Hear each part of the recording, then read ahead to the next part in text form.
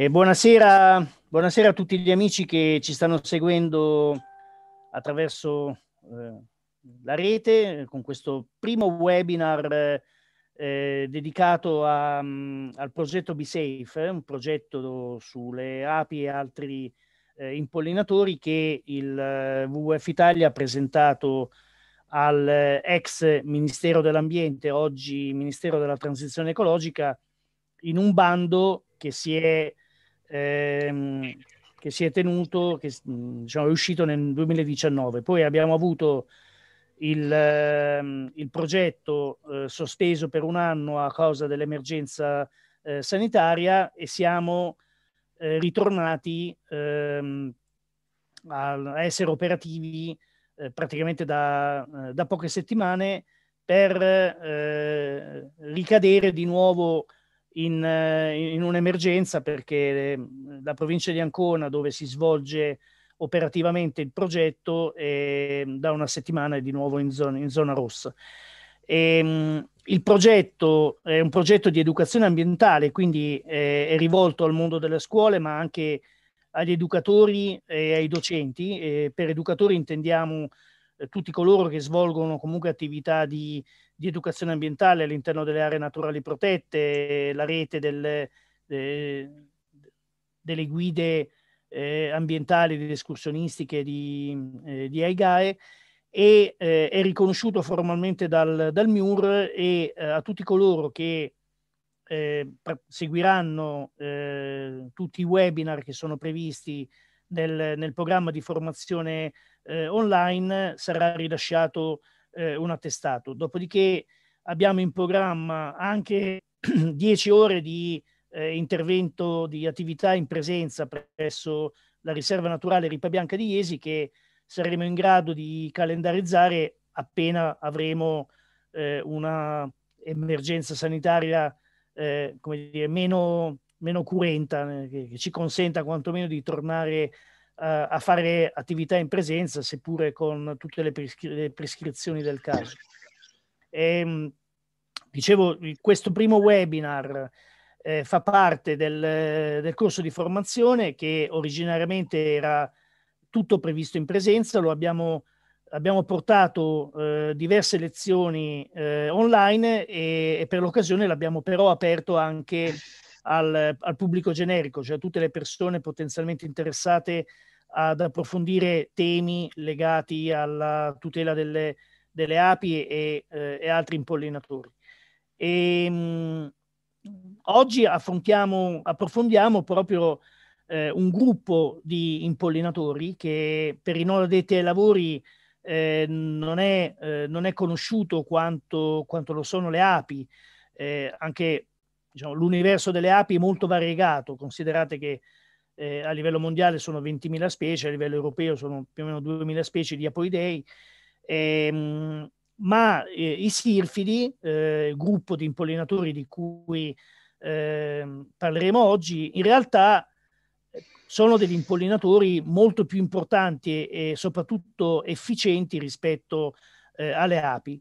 Eh, abbiamo la fortuna di avere senza, eh, diciamo, senza nessuna eh, presunzione, uno dei maggiori esperti del gruppo dei Sirfidi, se non il maggiore esperto, almeno a livello, a livello nazionale, che è il professor Burgio dell'Università di Bologna. Poi lascerò a lui eh, una breve presentazione della, del, delle sue attività, del suo ruolo.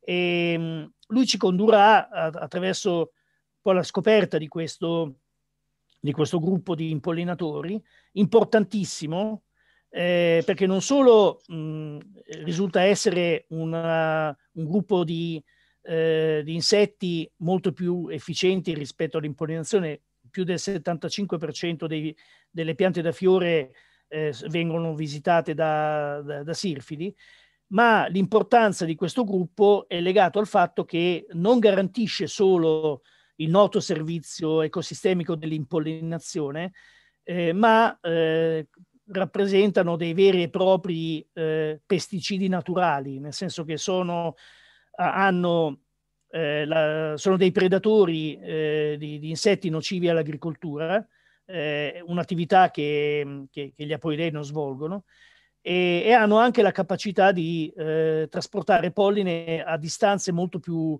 eh, più, non, più, elevate, più alte rispetto a, eh, agli apoidei. Quindi hanno delle caratteristiche che sono proprio parte della loro, eh, della loro biologia, della loro ecologia, che li rendono veramente degli impollinatori unici e, e straordinari. Eh, io vi, prima di salutarvi, eh, vi ricordo anche che eh, la, ehm, questa, questo progetto eh, realizzato eh, da WWF e Ministero eh, per la transizione ecologica è, è collegato anche all'iniziativa dei cittadini europei, se abbiamo le api e gli agricoltori. E con questo vi proponiamo di poter fare eh, qualcosa di concreto e, e, operativo anche direttamente voi come singoli, sia andando a firmare eh, alla pagina del sito web che trovate, trovate indicata, eh, la pagina del sito ufficiale istituzionale del WWF, la, l'iniziativa dei cittadini europei è una petizione ufficiale riconosciuta dalla Commissione europea eh, che, ha come, che ha come finalità quello di chiedere alla Commissione europea una normativa più, eh, più rigorosa e più stringente rispetto all'uso dei pesticidi e proprio per garantire la tutela eh, del, degli impollinatori. Ma oggi questa petizione assume un valore duplice perché, come sapete, il 20 maggio del, eh, dell'anno scorso, del 2020, la Commissione europea ha presentato due importanti strategie, la strategia biodiversità 2030 e la strategia Farm to Fork, eh, sono due strategie che pongono degli, degli, obiettivi importantissimi per la conservazione degli impollinatori. Pensiamo alla riduzione del, del 50% dell'uso dei, dei, pesticidi o eh, la, la, conversione di almeno il 25% della SAO a livello europeo in agricoltura biologica, ma eh, il WWF insieme alla coalizione Cambiamo Agricoltura per l'Italia propone un obiettivo molto più ambizioso che è il 40% di superficie agricola utilizzata eh, destinare, da destinare all'agricoltura, all'agricoltura biologica e eh, un altro obiettivo importante per gli impollinatori è destinare almeno il 10% delle, dei terreni agricoli ad aree eh, funzionali alla tutela, alla tutela, della biodiversità. Eh, l'importanza di questa convenzione è che se raggiungeremo eh, un, uh, almeno un milione di adesioni formali che devono essere certificate attraverso i dati di un documento di riconoscimento in almeno sette paesi eh, europei e molti paesi hanno già superato il quorum eh, richiesto eh, di, di, firme da raccogliere, l'Italia eh, è ancora indietro.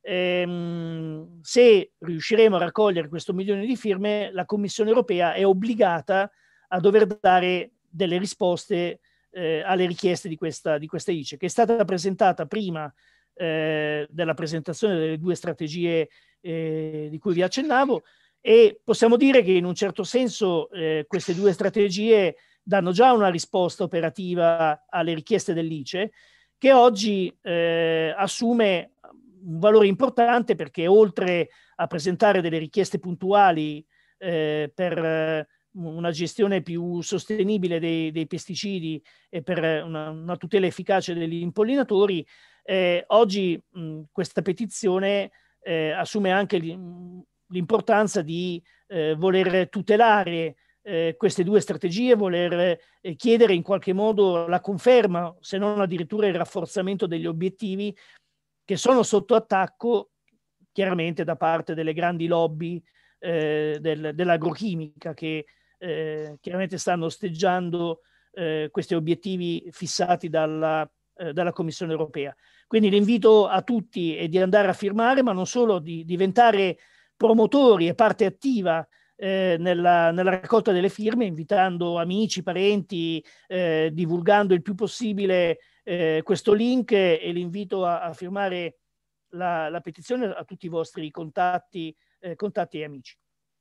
Eh, chiudo questa presentazione, ci risentiremo alla fine. Vi ricordo che se avete delle domande specifiche da fare nel corso della presentazione potete scriverle eh, sui commenti della pagina Facebook, eh, mi saranno poi eh, passate per sottoporle anche durante il, lo svolgimento del webinar al professor Burgio e mm, noi ci rivedremo alla, alla fine del, del, webinar per annunciare il, il, secondo incontro che è previsto per, per la prossima settimana e, nel quale parleremo proprio di, eh, di pesticidi.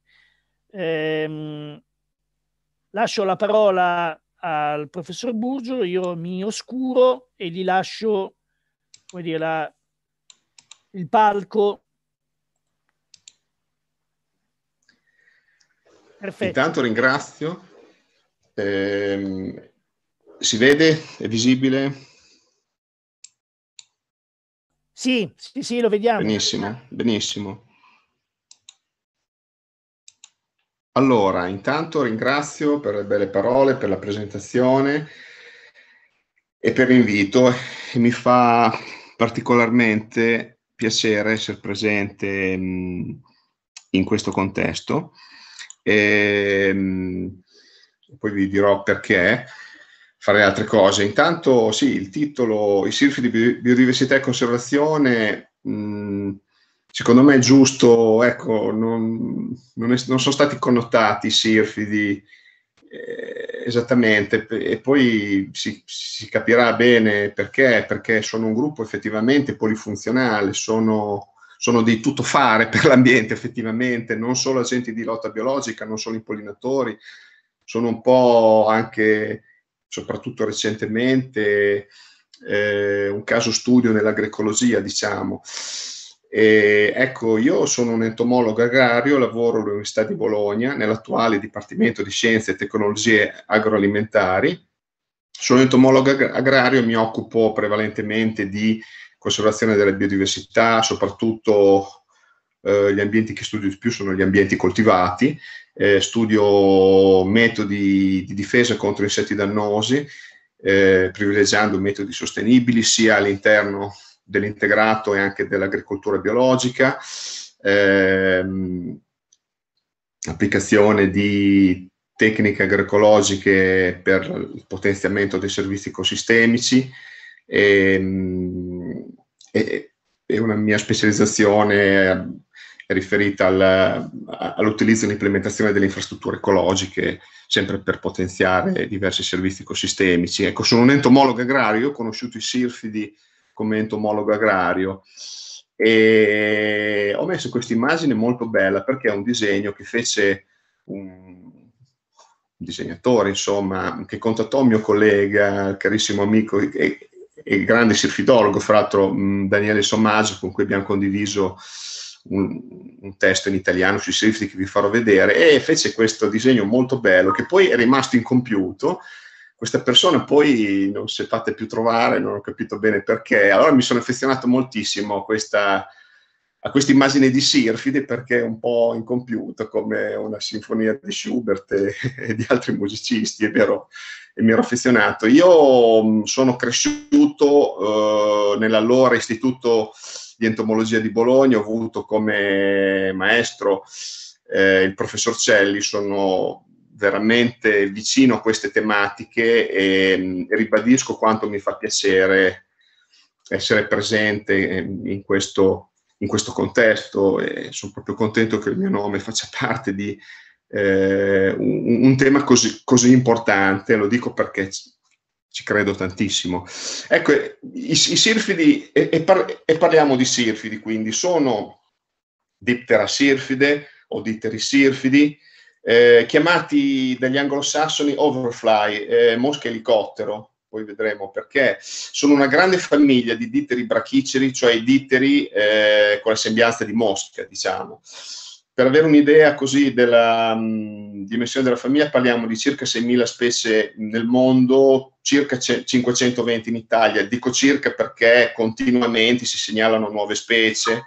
Ehm, per la fauna italiana, ad esempio. Però ecco, questo era un numero che mh, è comparso in una recente checklist proprio sui sirfidi.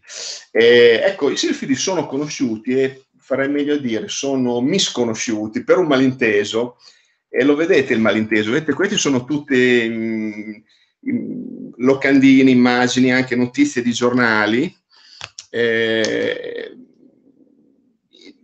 riferiti alle api, all'apicoltura, in cui compaiono sirfidi. Questi sono tutti sirfidi e compaiono, adesso non, non, lo metto per screditare queste locandine, ma lo metto proprio per eh, ribadire come la loro strategia ecologica sia ben riuscita, cioè il mimetismo. Infatti sono conosciuti, ho, ho detto misconosciuti, perché vengono confusi, proprio per il loro mite, mimetismo battesiano che, mh, mm, mimetismo battesiano che è, mh, mm, è, incredibile. Poi questi sono casi anche, eh, fra, non dico fra i meno lampanti, ma ci sono altri casi di somiglianze che definisco incredibili. E come vedete, queste sono tutte immagini di sirfidi tratti da eh, locandine, di convegni di apicoltura, eccetera. Quelli, quello sulla, sulla, destra e a sinistra sono due sirfidi eristalini, quelli centrali sirfini. Come vedete, la somiglianza è riferita sia alle api che anche vespe. Eh, fra l'altro, nei sirfidi il mimetismo battesiano mh, mm, è molto comune, ma non riguarda solo il colore. C'è questa immagine così istintiva che li porta a essere confusi con le altre, ma pensate anche a queste immagini in cui sono mostrate le antenne, sono eh, sviluppate in un modo particolarmente strano per i ditteri e il ditino da vespa. Queste sono eh, immagini sorprendenti di specie, fra l'altro specie molto belle che sono ricercatissime fra i silfidologi. Quella in basso a destra la catturai in una trappola malaise nella, nella campigna. Il ditino da vespa è un'altra cosa incredibile. E mm, quindi ecco, la prima cosa che dici sui silfidi è che sono caratterizzati da questo sorprendente mimetismo battesiano, cioè imitano, imitano cioè sono mimi eh, di insetti, soprattutto api, vespe, ehm, eh, do, dotati di pungiglione, quindi essendo confusi per essi, diciamo, dovrebbero mettere in guardia a predatori. Eh, la famiglia dei silfidi è, di, è, divisa in queste tre eh, sottofamiglie. Non, va, non, voglio entrare troppo in particolari eh, sistematici. Io poi sono un entomologo agrario, me ne sono occupato, me ne occupo un po' di identificazione, non sono un sistematico puro, ecco. Però sono divisi in questi tre eh, gruppi. Vi parlerò soprattutto degli ultimi due, Serfini e Ristalini. Vedete che le sembianze, ho messo due specie tipo per ogni sottofamiglia, sono anche abbastanza diverse. Ehm, intanto un po' così, un po', un po', di storia, chi sono stati importantissimi sirfidologi del passato? Beh, Rondani, Camillo Rondani, entomologo parmense, uno dei più grandi eh, ditterologi, lui è vissuto nel 1800, grandissimo sistematico. Eh, il mio collega Daniele Sommaggio sta, una, sta pubblicando adesso una, un articolo su tutti i tipi che ha descritto questo eh, entomologo e ha segnalato moltissime specie e lì vedete un libro che pubblicò mh, nella nostra biblioteca, abbiamo l'originale, in, in latino, una, una, monografia sui sirfidi, chiaramente oltre che essere in latino è poco utilizzabile diciamo, però ha segnalato tante specie come vedete. Pensate che ha dedicato, eh, ve, l'ho mostrata, quella bellissima specie, Sfiximorpha petronilla, una, una, specie che è così, è, è mitica per i sirfidologi, e l'ha dedicata alla sua donna che amava tantissimo, che poi fra l'altro morì giovane, vi posso assicurare che dedicare una specie per un entomologo è, è veramente un atto eh, eccezionale. E quindi Rondani, anche il Bezzi, è stato un grandissimo entomologo, ditterologo, e ha segnalato molte specie, lo vedete sotto. Eh, e effettivamente i sirfidi sono caratterizzati da una elevata diversità di caratteri. Questo mimetismo mm, riguarda sia le api che altri apoidei che le vespe. Qua vedete un'immagine mista di mh, mm, caratteristiche di di tante specie di questa famiglia. Abbiamo mini delle api, come vedete, qua vedete anche il nome delle specie, queste sono due specie molto comuni, eh, quella a destra, l'Eristalis tenax, poi vedremo che è, uno, è, una delle specie col più elevato potenziale di impollinazione. E fra l'altro è chiamato drone fly proprio come metafora della somiglianza con le api. Abbiamo mimi di bombi, guardate questi mimi di bombi, sono incredibili, sono, è chiaro che si capisce che sono ditteri, hanno due ali, hanno gli occhi da mosca, diciamo, eh, le antenne tipiche, mm, però insomma, eh, vedete anche voi come il mimetismo sia veramente sorprendente. Abbiamo anche un gruppo di vespe calabroni, la specie in alto a sinistra chiamata Milesia carboniformis, guardate la, la, somiglianza, fra l'altro alcune di queste specie ronzano, hanno un ronzio molto simile. E, mm, gli adulti che caratteristiche hanno? Intanto hanno un apparato lambente succhiante, diciamo a proboscide tipo mosca, quindi questo eh, fa sì che la loro alimentazione comprenda l'assunzione di liquidi zuccherini e anche polline. Eh, infatti gli adulti eh, sono glicifagi polinifagi. Eh, liquidi zuccherini forniscono l'alimento energetico, quindi l'energia per, per sostenere il volo. Eh, il polline serve alle femmine eh, per la maturazione degli ovari, quindi c'è un legame molto stretto con la biodiversità vegetale e, e, e, questo è il motivo, diciamo. Sono ovviamente impollinatori gli adulti, impollinano tantissime piante sia coltivate che spontanee e sono buonissimi volatori eh, sono molto mobili, come vedremo ci sono specie che compiono migrazioni, vere e proprie migrazioni, e, mm, e sono presenti in tutti gli ambienti. E, mm, dire sono presenti in tutti gli ambienti sembra così un modo per semplificare, ma è realmente, realmente così. Mi ricordo un episodio così, che, che cito di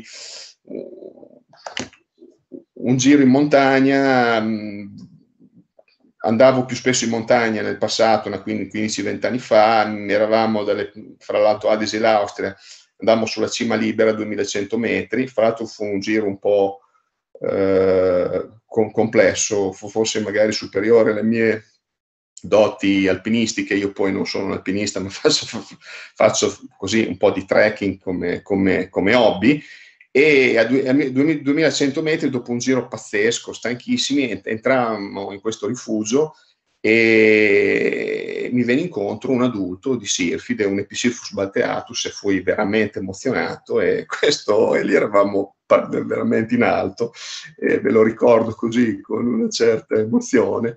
Eh, allora, cos'è la caratteristica che li rende tali? Quando si può dire che un sirfide è veramente sirfide? Hanno un carattere che è chiamato un carattere, diciamo, tassonomico forte che li caratterizza nelle ali, che come vi dicevo mh, sono due, quindi don del nome Diptera, due ali, ovvero un paio di ali, eh, è presente mh, quella vena chiamata spuria, che in realtà è una falsa vena. Come vedete si interrompe senza congiungersi nel bordo dell'ala ed è praticamente una falsa vena perché è un ispessimento chitinoso eh, che, la fa somigliare a una vena, ma in realtà non lo è. Ebbene, quel carattere, diciamo, è distintivo per la famiglia dei sirfidi.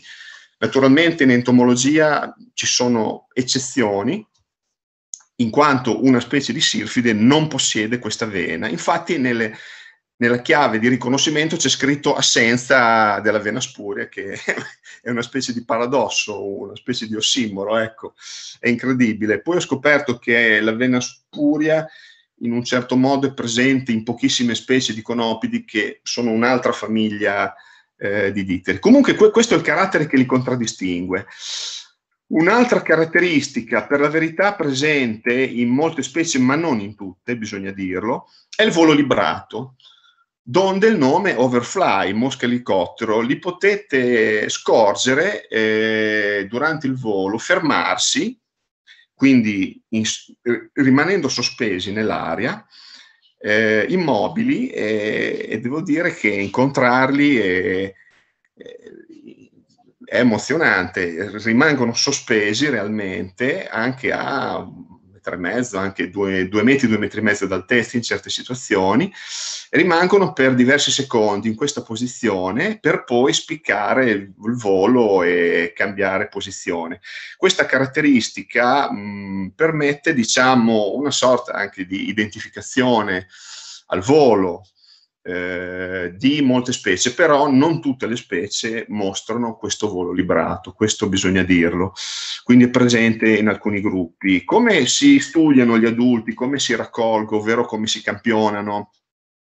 Eh, qua vedete tutti i metodi di campionamento che vanno dal retino classico, eh, ecco lì ho messo mia figlia quando aveva circa eh, 8-9 anni per avere un'idea delle Carolina che è di là, se la, se la vede magari, anzi gliela mostrai, all'inizio si era un po' arrabbiata, poi ha riso, non è diventata un'entomologa fortunatamente, e per avere idea comunque delle dimensioni.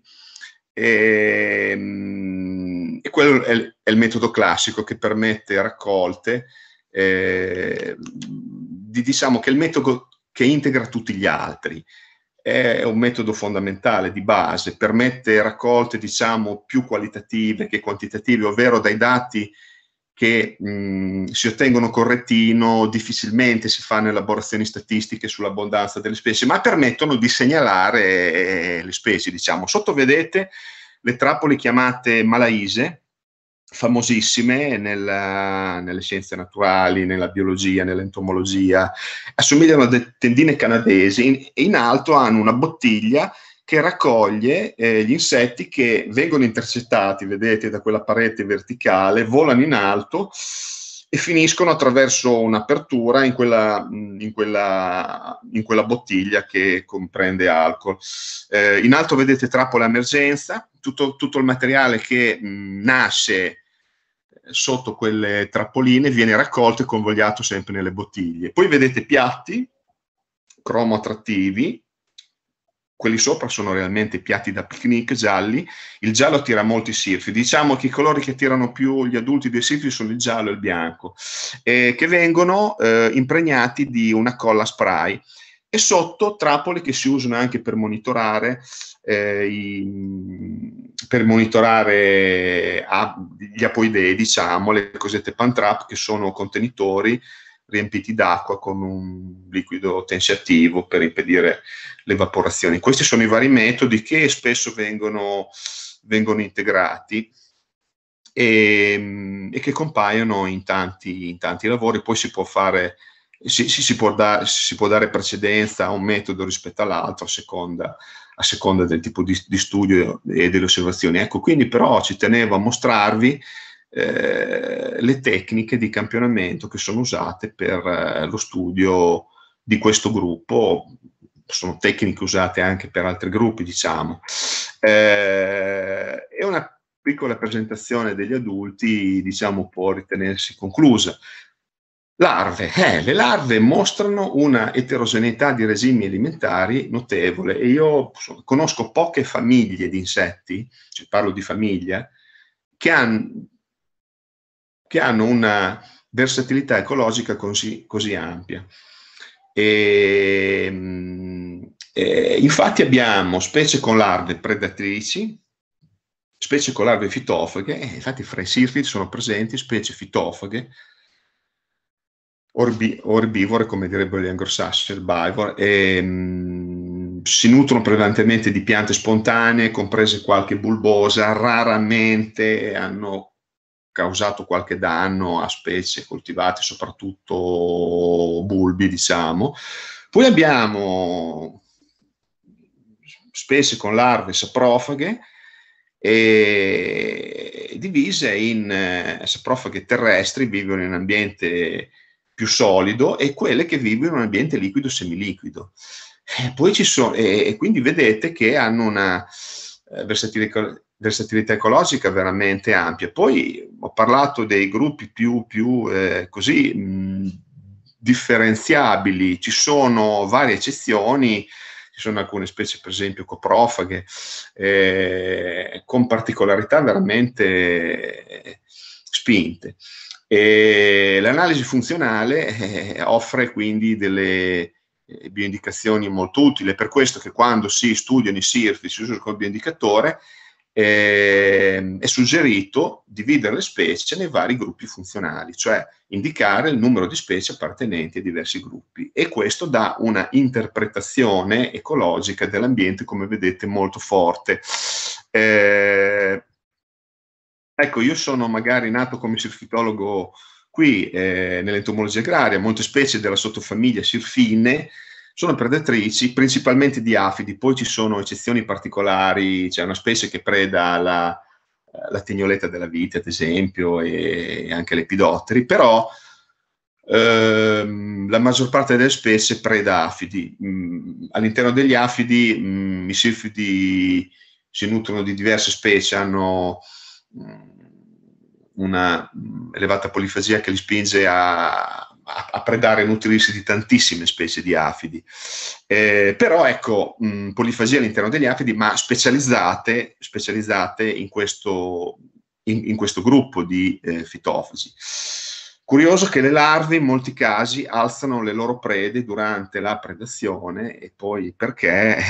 Perché non, si sa bene, si può intuire, probabilmente cercano di, alzando l'afide, cercano di tramortirlo eh, per impedirgli di eh, emettere fermoni di allarme. Questa potrebbe essere un'interpretazione. Vedete anche sotto le uova di, almeno di questa, di, di questa specie, che dovrebbe essere una sferoforia scritta, e la relativa larva. La foto centrale l'ha fatta la carissima collega Serena Magagnoli, eh, grandissima naturalista e fotografa, e a destra vedete un altro dettaglio di una larva che eh, afferrato un'afide attraverso gli uncini boccali, quindi ne svuotano i contenuti, aspirano i liquidi e, e quindi sono delle macchine molto molto efficaci.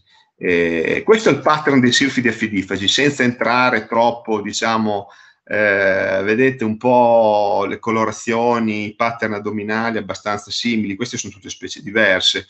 Eh, le, le, due specie in sono molto comuni, a sinistra la sferoforia scripta, e a destra un Sirfus, e sotto vedete altri tipi di larve. Le larve eh, sono, vedete, sono apode in quanto ditteri ovviamente, però questo si vede meglio a sinistra, vedete che nella parte addominale possono avere delle formazioni che sono omologabili a degli pseudopodi per, per facilitare la locomozione.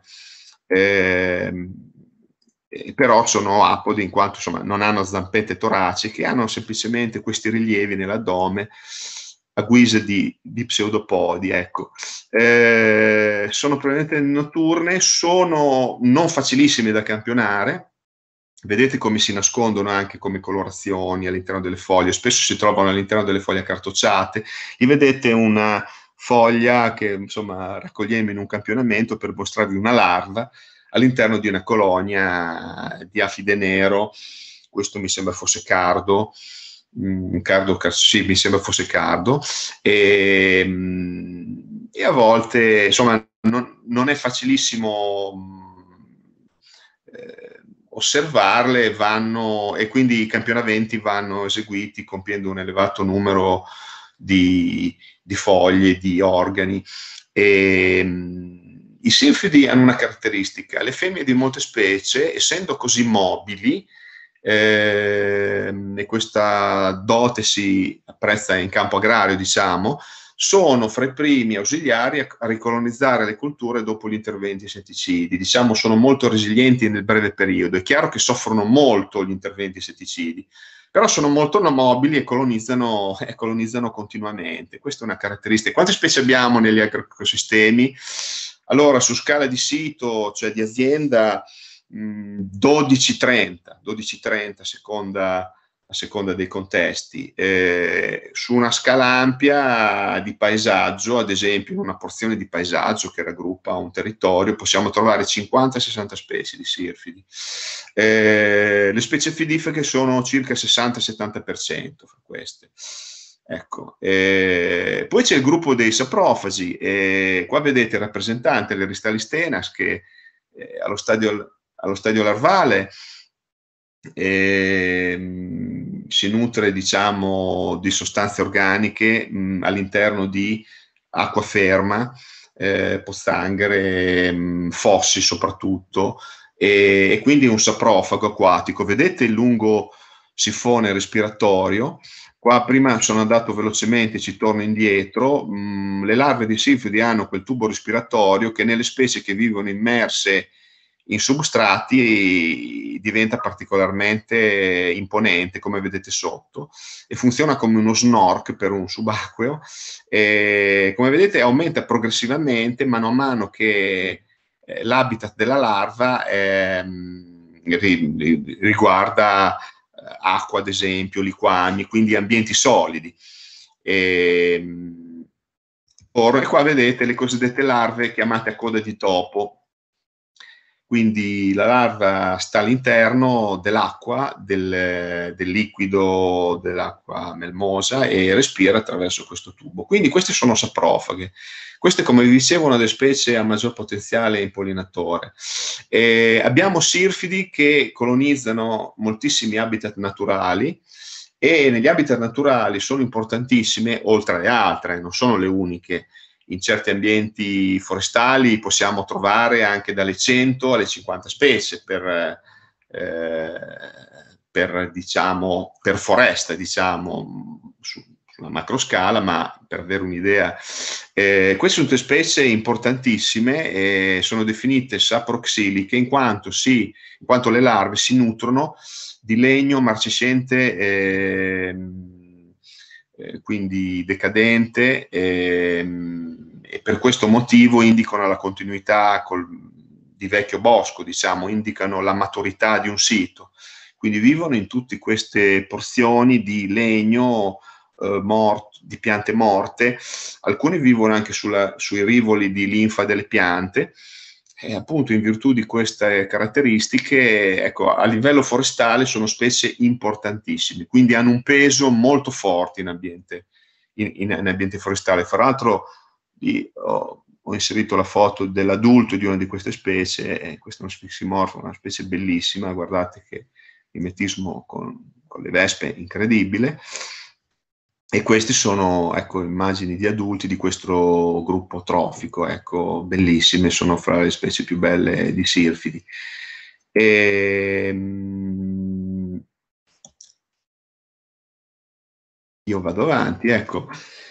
E, sirfidi come impollinatori. I sirfidi sono sempre stati conosciuti come impollinatori eh, perché sono stati studiati meno? Non lo so, me lo chiedo anch'io, forse per le loro peculiarità, forse eh, sono talmente versatili che gli entomologi agrari li hanno studiati soprattutto eh, per la loro importanza nella lotta biologica. Eh, lo dico adesso, mh, la predazione nei confronti di afidi poi ha un nome, si chiama lotta biologica. E, ehm, oppure dai naturalisti, vi ho mostrato le specie con grande interesse naturalistico. Fatto sta che si è sempre detto che i sirvi sono i pollinatori, ma solo recentemente è stato quantificato eh, il loro ruolo quali quantitativo come impollinatori. Vi, vi, vi cito un, un, recente lavoro, vi cito un recente lavoro in cui mh, è stato studiato il contributo relativo di insetti impollinatori usando segnalazioni su circa 105 culture. Dice, I ditteri, compresi i sirfidi, visitano più del 70%, qua indicato 72 delle culture, e sono al secondo posto dopo gli imenotteri e, e lepidotteri che comprendono sia le farfalle che le falene, quindi i diurni e i notturni. Come vedete, i ditteri, le mosche, ha, hanno un impatto eh, imponente. Fra i ditteri, i sirfidi hanno un ruolo di primo piano. Visitano almeno il 52% delle culture con valori aggiunti, stimati. Come vedete, questo è un dato di una stima, ovviamente si riferisce al valore di, di queste culture, cioè 300 miliardi all'anno, poi vabbè sono stime, eh, questa è fornita dalla Food and Agriculture Organization, e quindi effettivamente hanno un impatto mh, imponente, ma una caratteristica mh, eh, peculiare dei sirfidi che trasportano il polline a lunghe distanze durante la loro azione di foraggiamento, a distanze superiori sia a farfalle che api. Questo è un grafico che ho preferito inserirlo, originale, e vi metto anche la fonte, è una review molto interessante sui sirfidi con impollinatori recentissima, in cui è stato fatto uno studio sulla, su, sulle distanze di volo, adesso attraverso metodi di confronto, quindi è stata calcolata quella che c'è sull'asse delle Y, la distanza relativa di volo, ovviamente una distanza relativa normalizzata per fare confronti, eh, rapportata al numero dei voli. Come vedete, prim, ai primi due posti abbiamo due sirfidi, l'Eristaris, eh, un, diciamo un cuginetto dell'Eristaris tenas che vi ho mostrato prima, l'Arbustorum è un po' più piccolo, la Sferoforia mentassi è un'altra specie, quindi vedete che eh, mediamente a confronto con una, una, farfalla, la Pieris e un paio di api selvatiche, i silfidi hanno, diciamo,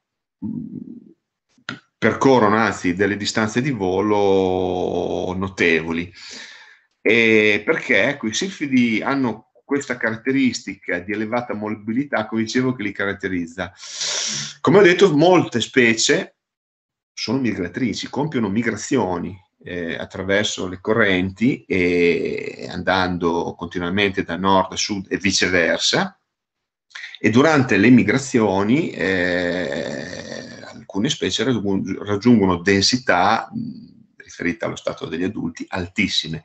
Vi mostro questo dato sorprendente di uno studio fatto in Inghilterra. Eh, il soggetto è Episiphus balteatus, è una specie che vi ho mostrato prima, uno studio con radar ha, ha su Episylphus e Eupeodes che ha stimato, eh, usando un radar, che circa 4 miliardi di individui si spostano dal sud dell'Inghilterra ogni anno. Come vedete nella figura è stato uno studio pazzesco, anno dopo anno. Non è l'unico, eh. Già negli anni 80 sono stati fatti studi sulle Alpi, eh, mettendosi proprio nei valichi e catturando gli insetti che attraversavano durante la migrazione. Quindi, però, questo per avere un'idea eh, così del, de, dell'imponenza di questo fenomeno.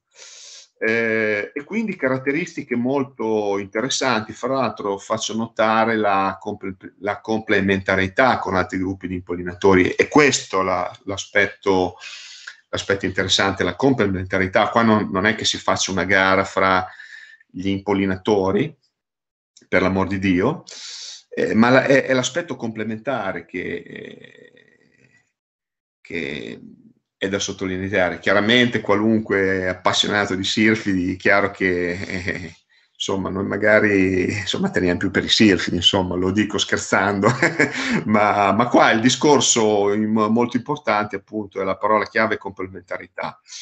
Poi qualche studio ha quantificato, ecco è questo l'Episifis balteatus che vi eh, citavo prima, è una specie comunissima, questo diciamo il sifride per antonomasia, è presente in tutti gli ambienti, è, è la specie poi che ho incontrato nel rifugio a 2500 metri, alla cima libera è questo.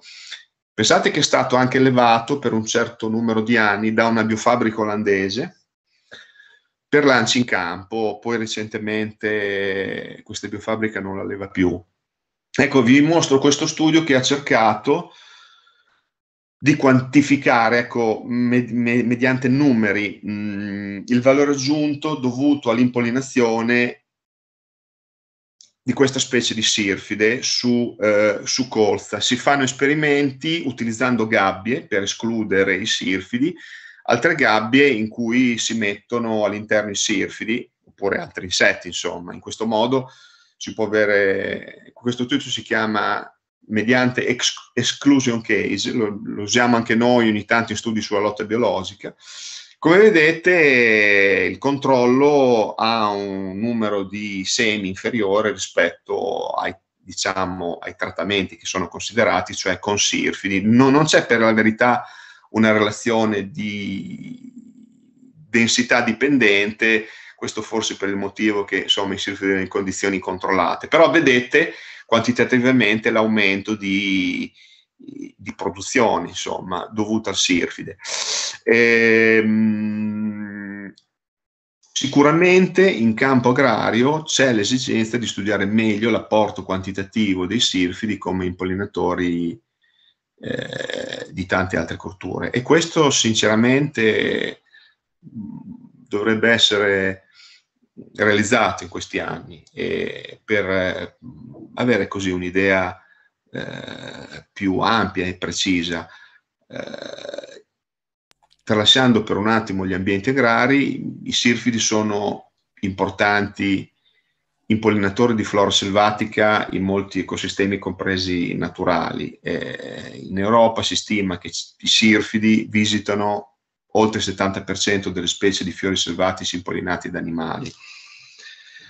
E, un'indagine su, sul trasporto del polline mh, di questa specie, che è Aristalis, Aristalistenas, che abbiamo mostrato prima, il drone fly, in prati soggetti a regime di conservazione, ha mostrato che questo, questa specie può trasportare il polline di circa 65 taxa di polline. Questo boh, molto interessante. E, ehm, vi mostro un altro lavoro che ha segnalato, è un lavoro di francesi che mh, mm, ha eseguito questo lavoro usando una tecnica di DNA barcoding, cioè un'analisi eh, del polline mediante tecniche molecolari eh, nei prati montani seminaturali e in ambienti montani ditteri diciamo, tutti i ditteri, poi vedremo che fra i ditteri si filano un ruolo predominante, sono gli impollinatori più abbondanti e prevalenti. Per esperienza, poi girando in montagna sui fiori, vi, vi sarete accorti, si incontrano mosche, si incontrano fra gli apoidei, si incontrano solo dei bombi e tante farfalle. Ecco. Quindi questo studio si è basato sulla raccolta di adulti, eh, estrazione del, del, polline mediante diciamo, estrazione del polline, filtraggio e identificazione delle specie botaniche con metodi molecolari. Anche noi stiamo iniziando uno studio in vari ambienti, sia di montagna che di pianura, per caratterizzare in Italia eh, il polline portato dalle specie principali. Ecco, in questo studio, come vedete, mh, sono le proporzioni di insetti, eh, quindi l'abbondanza relativa normalizzata di vari gruppi di insetti, i ditteri, i ditteri sovrastano tutti. Fra i ditteri non abbiamo solo i sirfidi, ma i sirfidi hanno un ruolo abbastanza importante, poi vedete altre famiglie, empididi, eccetera.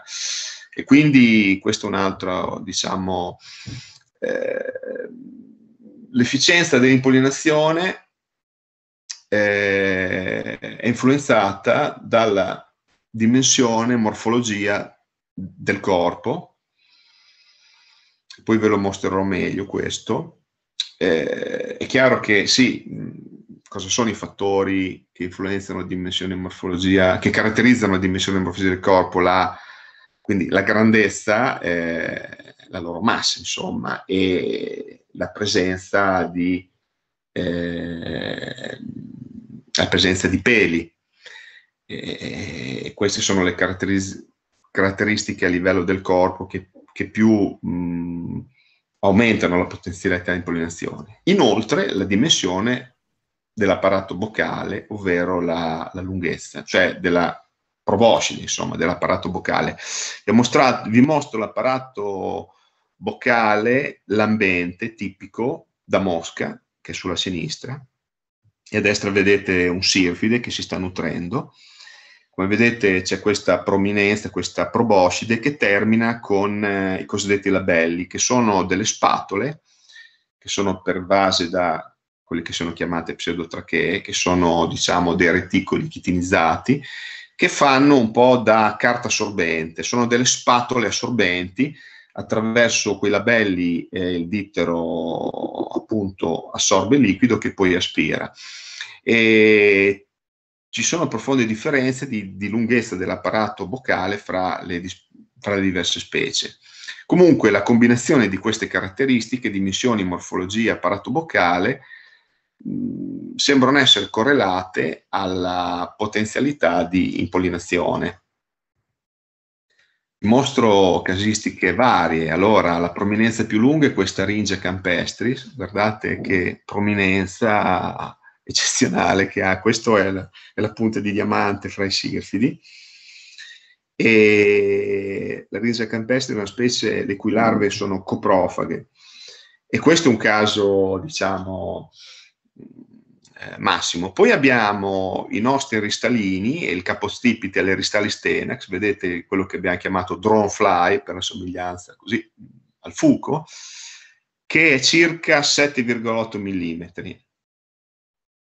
E vedete anche sotto mh, mm, eh, la, una, una, specie di volucella, la volucella bombilas.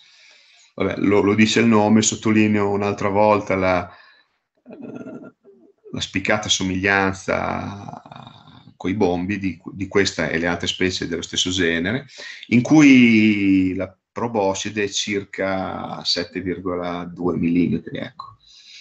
Queste le dimensioni. Quindi queste specie sono in grado di nutrirsi su fiori che presentano nettari più profondi e un po' più nascosti delle altre, quindi perlustrano bene. E poi abbiamo le specie a proboscide corta, gli apidologi le chiamano specie a ligula corta, ligula media, ligula lunga, quale abbiamo chiamate proboscide. Eh, quelle diciamo a proboscide più, più, più corta, qua arriviamo sui 2,9 mm, il cui capostipite è l'Episirfus baldeatus, una specie di cui vi ho parlato spesso, eh, specie con larve affidifaghe, mentre vi ricordo che mh, l'Eristalis, quello al centro, ha larve saprofaghe, le larve coda di topo che vivono nei liquami, nelle, nei fossi, eccetera. E l'Episirfus, ecco, fa parte delle specie con apparato boccale eh, più corto e ha i labelli larghi, mentre le precedenti hanno i labelli più stretti e apparato boccale lungo, cioè quindi si infilzano bene in profondità, invece l'Episirfus si nutre bene su fiori aperti, con nettari poco profondi. E questa foto l'ho fatta io e non è venuta male, considerate che l'ho fatta col mio cellulare, con l'iPhone in campo, in una prova che abbiamo di agroecologia in cui abbiamo seminato fasce mh, di piante che comprendono specie nettarifere per potenziare i servizi ecosistemici dei sirvi. Quindi eh, questo è un fiore di grano saraceno.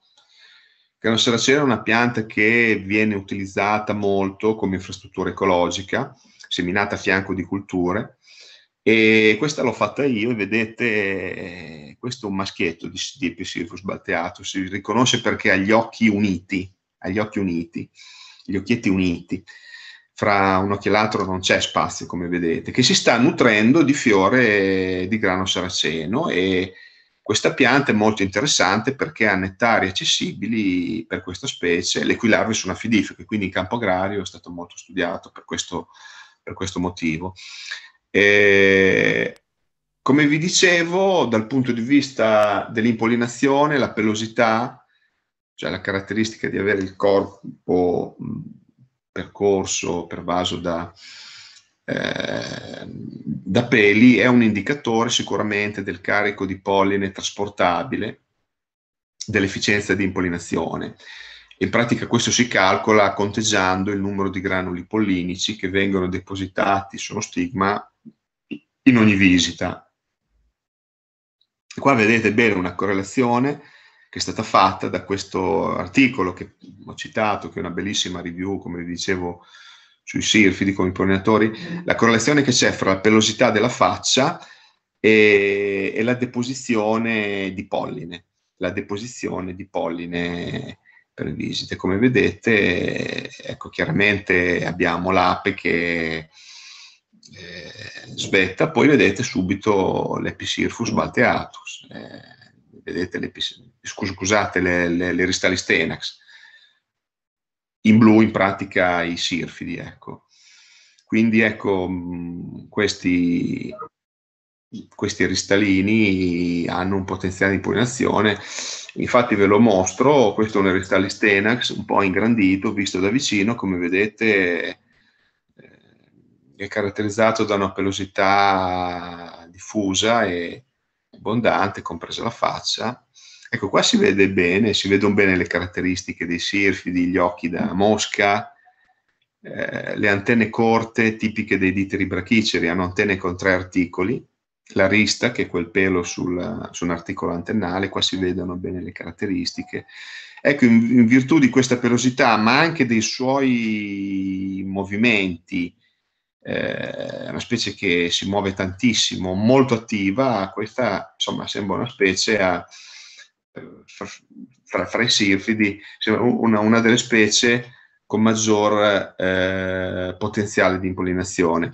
Vi mostra anche i risultati di questo studio, Cisowski e collaboratori, che è stato fatto in uno studio in, negli USA, nell'Illinois, e questi studiosi hanno, hanno confrontato non hanno usato tecniche molecolari, hanno raccolto impollinatori e hanno analizzato la copertura di polline sul corpo degli insetti. Fra questi insetti abbiamo sirfidi, però vedete che c'è anche l'ape, e, um, hanno confrontato tantissimi sirfidi con l'ape, con l'ape domestica e il numero medio di polline, cioè hanno calcolato una sorta di punteggio medio di carico di polline per normalizzare i dati e come vedete il carico di polline delle, del solito Ristalis tenax, oddio questa non è la specie tenax ma una specie americana che assomiglia molto al, al nostro tenax, alle stesse dimensioni circa, diciamo quindi del rappresentante degli eristalini, di quella sottofamiglia e ha un, diciamo, un, un carico di polline paragonabile all'apis mellifera che vedete lì a destra. Lì vedete i due istogrammi. Adesso non fate caso a tutta quella miriade di lettere che ci sono, è un'analisi statistica e mh, mm, la concordanza fra le lettere indica la non significatività, eccetera. Quindi è stata eseguita un'analisi statistica e è per questo che ci sono tutte quelle lettere. Comunque vedete che il carico di polline, diciamo, delle, delle ristalis è paragonabile a quello dell'ape domestica. Ho letto una cosa recentemente, mi ha colpito, è uno studio del 98, di questo studio di Gulson e Wright, ma che hanno studiato, quindi non è uno studio, diciamo, nuovissimo, e se ne è sempre parlato poco di questa caratteristica, la costanza fiorale. È chiaro che le api, una delle caratteristiche più importanti è la costanza fiorale. Ebbene, questi studiosi hanno eh, analizzato il comportamento di queste due specie, quindi Episirfus balteatus, il solito Episirfus, e a destra un, uh, un Sirfus ilbesi, e hanno mostrato in esperimenti eh, controllati il fenomeno della costanza fiorale in attività di foraggiamento all'interno di comunità miste di piante e sono rimasto francamente colpito eh, dell'uso di questa parola per, per ditteri, per sirfidi. E gli stessi autori dicono comunque che è improbabile che la costanza fiorale dipenda da un fenomeno di learning, di apprendimento. Io non sono un esperto, diciamo, di etologia, di learning, eh, anche se un po' me ne occupo, diciamo. Penso che probabilmente gli autori abbiano voluto dire che non dipendendo da un fenomeno di apprendimento, la, la, spiegazione è che i sirfidi foraggino principalmente sul polline che è di facile localizzazione e disponibilità all'interno dei fiori che visitano.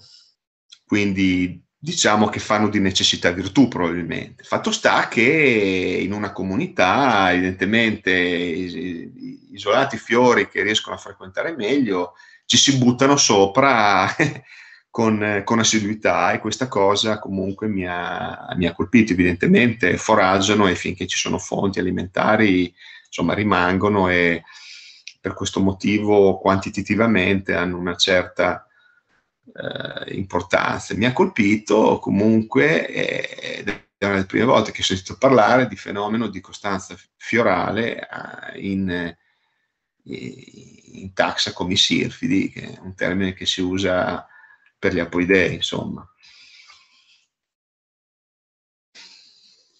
Ci sono due domande. Prego, allora io prego. Eh, allora, la prima è un nostro ascoltatore chiede eh, se, se, i sirfidi pungono, cioè se hanno un pungiglione o, o attraverso, pung, possono pungere attraverso l'apparato, l'apparato boccale che ci hai mostrato. E l'altra è in qualche modo collegata alla prima, è se eh, i sirfidi possono essere pericolosi per le persone eh, allergiche. Eh, conosciamo il fenomeno della dell'allergia alle punture eh, di, di, alcuni Certo. Allora, rispondo a queste domande. Eh, allora, mh, mm, i silfidi non pungono, non pungono assolutamente, mh, mm, ovviamente non pungono perché non sono aculeati, ovviamente, ma non, non hanno apparati boccali in grado di perforare, quindi assolutamente no possiamo stare tranquillissimi e non, quello proprio mm, non ci sono segnalazioni assolutamente, assolutamente. Certi ditteri sono ematofagi, troviamo i tabanidi, come i tafani, che hanno tutto un apparato boccale modificato con stiletti chitinizzati che tagliano, diciamo. Ecco, nessun sirfide ematofago e, e, in ogni caso ha caratteristiche dell'apparato boccale, quindi, quindi questo è da escludere. Vi dico una cosa particolarissima che parlando con eh, amici e colleghi, colleghi amici sirfidologi, è incredibile, catturando certe specie di sirfidi, non tutte ma alcune, eh, mi ricordo per alcuni gruppi che catturavamo correttino, che questa specie, dopo cosa si fa? Correttino, si raccoglie il sirfide, si, eh, si mette la mano all'interno del rettino, si, si, prende delicatamente il sirfide e si mette nel barattolo, eccetera. Alcune specie muovono freneticamente l'addome come col tentativo di pungere, come fanno gli menotteri. È incredibile questa cosa e mi ha colpito tantissimo. Io non ve lo so spiegare capita solo con alcune specie. Quindi io non so se ci siano delle associazioni fra comportamenti, mimetismi, cioè una, una, cosa che ci ha colpito tantissimo questa. Ovviamente sono, sono, sono finte punture, sono, sono, eh, sono non punture, perché come vi dicevo assolutamente i sirfidi non pungono e, e, e non sono, diciamo, eh, e, non hanno un apparato boccale, però ve la segnalavo. Io non conosco, non conosco segnalazioni di allergia, assolutamente. Devo dire che non ne ho mai sentito parlare, quindi la cosa è stata, studi- è stata studiata, ma eh, diciamo che per questo motivo, non pungendo, non avendo emissione di sostanze tossiche, insomma, escluderei anche questa, questo fatto. Poi mh, a livello, sapete per esempio che mh, se non sapete ve lo dico, le coccinelle hanno degli alcaloidi presenti eh, che sono stati caratterizzati nel corpo, che dà un sapore amaro, dà un sapore amaro, da, che dovrebbe agire come mh, metodo dissuasivo per predatori. Perché molti animali sanno che eh, nutrendosi di coccinelle eh, si entra in contatto con un sapore amarognolo anche molto sgradevole. Ecco, non so se mai è stato fatto uno studio sui silfidi, io, io lo escluderei comunque, quindi direi proprio che non, eh, non sono state...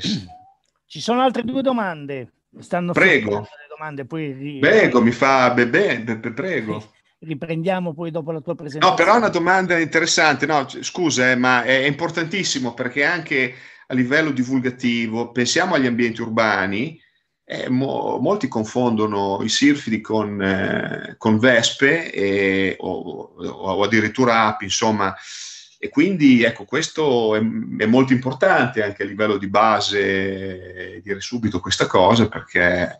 Certo. Eh, prego, prego. Allora, le domande sono se, se puoi indicare delle pratiche che possono essere eh, attuate mm, anche da, da, comuni cittadini o da agricoltori per aumentare la presenza dei sirfidi eh, nelle, mh, mm, che sono positivi sulle, sulle culture sì. E un'altra domanda invece è mm, se puoi suggerire anche una, una guida eh, pratica per, eh, per, il riconoscimento eh, dei sirfidi anche per, eh, per, non specialisti. E terza domanda è ehm, quando li vediamo in volo, come si fa a riconoscerli da api e vespe se sono così tanto simili? Allora, rispondo Parto dalla domanda numero tre, se siete d'accordo, e poi vi dirò perché. Allora, come dicevo, in volo si riconoscono nella maggior parte dei casi, diciamo in, in molti casi, dal, dal, volo librato, volo sospeso. Vi ho mostrato, ci torno indietro, mm, ecco, il volo librato non riguarda tutte le specie cioè, questa è una foto, quindi è statica, ma mh, è una metafora di quello che voi vedreste se ci fosse un sirfide davanti a voi. Si mettono in posizione immobile di volo come un piccolo elicottero. Certe mosche, i fannidi hanno un volo, insomma, un pochettino Uh, è un volo librato con traiettorie un po' circolari, i sirfidi rimangono sospesi in aria in, in modo imponente. E questa è la caratteristica che ci permette, eh, perché hanno un volo molto rapido e quindi in volo non è semplicissimo, eh, diciamo, osservarli. Eh, quando rim- rimangono così fermi in volo librato si riconoscono abbastanza bene L'Episirfus, se vedete questa specie, insomma, insomma, con un occhio un po' esperto, si riesce a capire anche che è Episirfus balteatus in molti casi. Quindi il volo librato, elicotteri, overfly, ricordatevi overfly per gli anglosassoni. Eh, questa è la caratteristica più, più tipica. Poi al volo così, sottolineo che hanno due ali, e non quattro, hanno gli occhietti da mosca, come vedete, hanno proprio quegli occhi composti tipici da mosca, quindi con un'immagine eh, molto repentina, sono queste le caratteristiche. Però ecco, non tutte le specie hanno questo volo librato, però queste specie che non hanno volo librato non si vedono molto, bisogna andarli un po' a, a scovare in mezzo alle piante, nei fossi, alcune specie vengono catturate con un retino da sfalcio sulle piante, ecco quindi lo dico proprio per precisione, il volo librato no, non riguarda tutte le specie. Spero di aver un po' risposto. Per le altre due domande io ti rispondo volentieri perché ho tutta la seconda parte della mia presentazione che riguarda proprio queste due domande. Metodi per potenziare la presenza e l'attività dei sirfidi eh, in campo agrario anche e l'altra domanda, ah, co- come chiavi, testi, riconoscimento, o, esatto.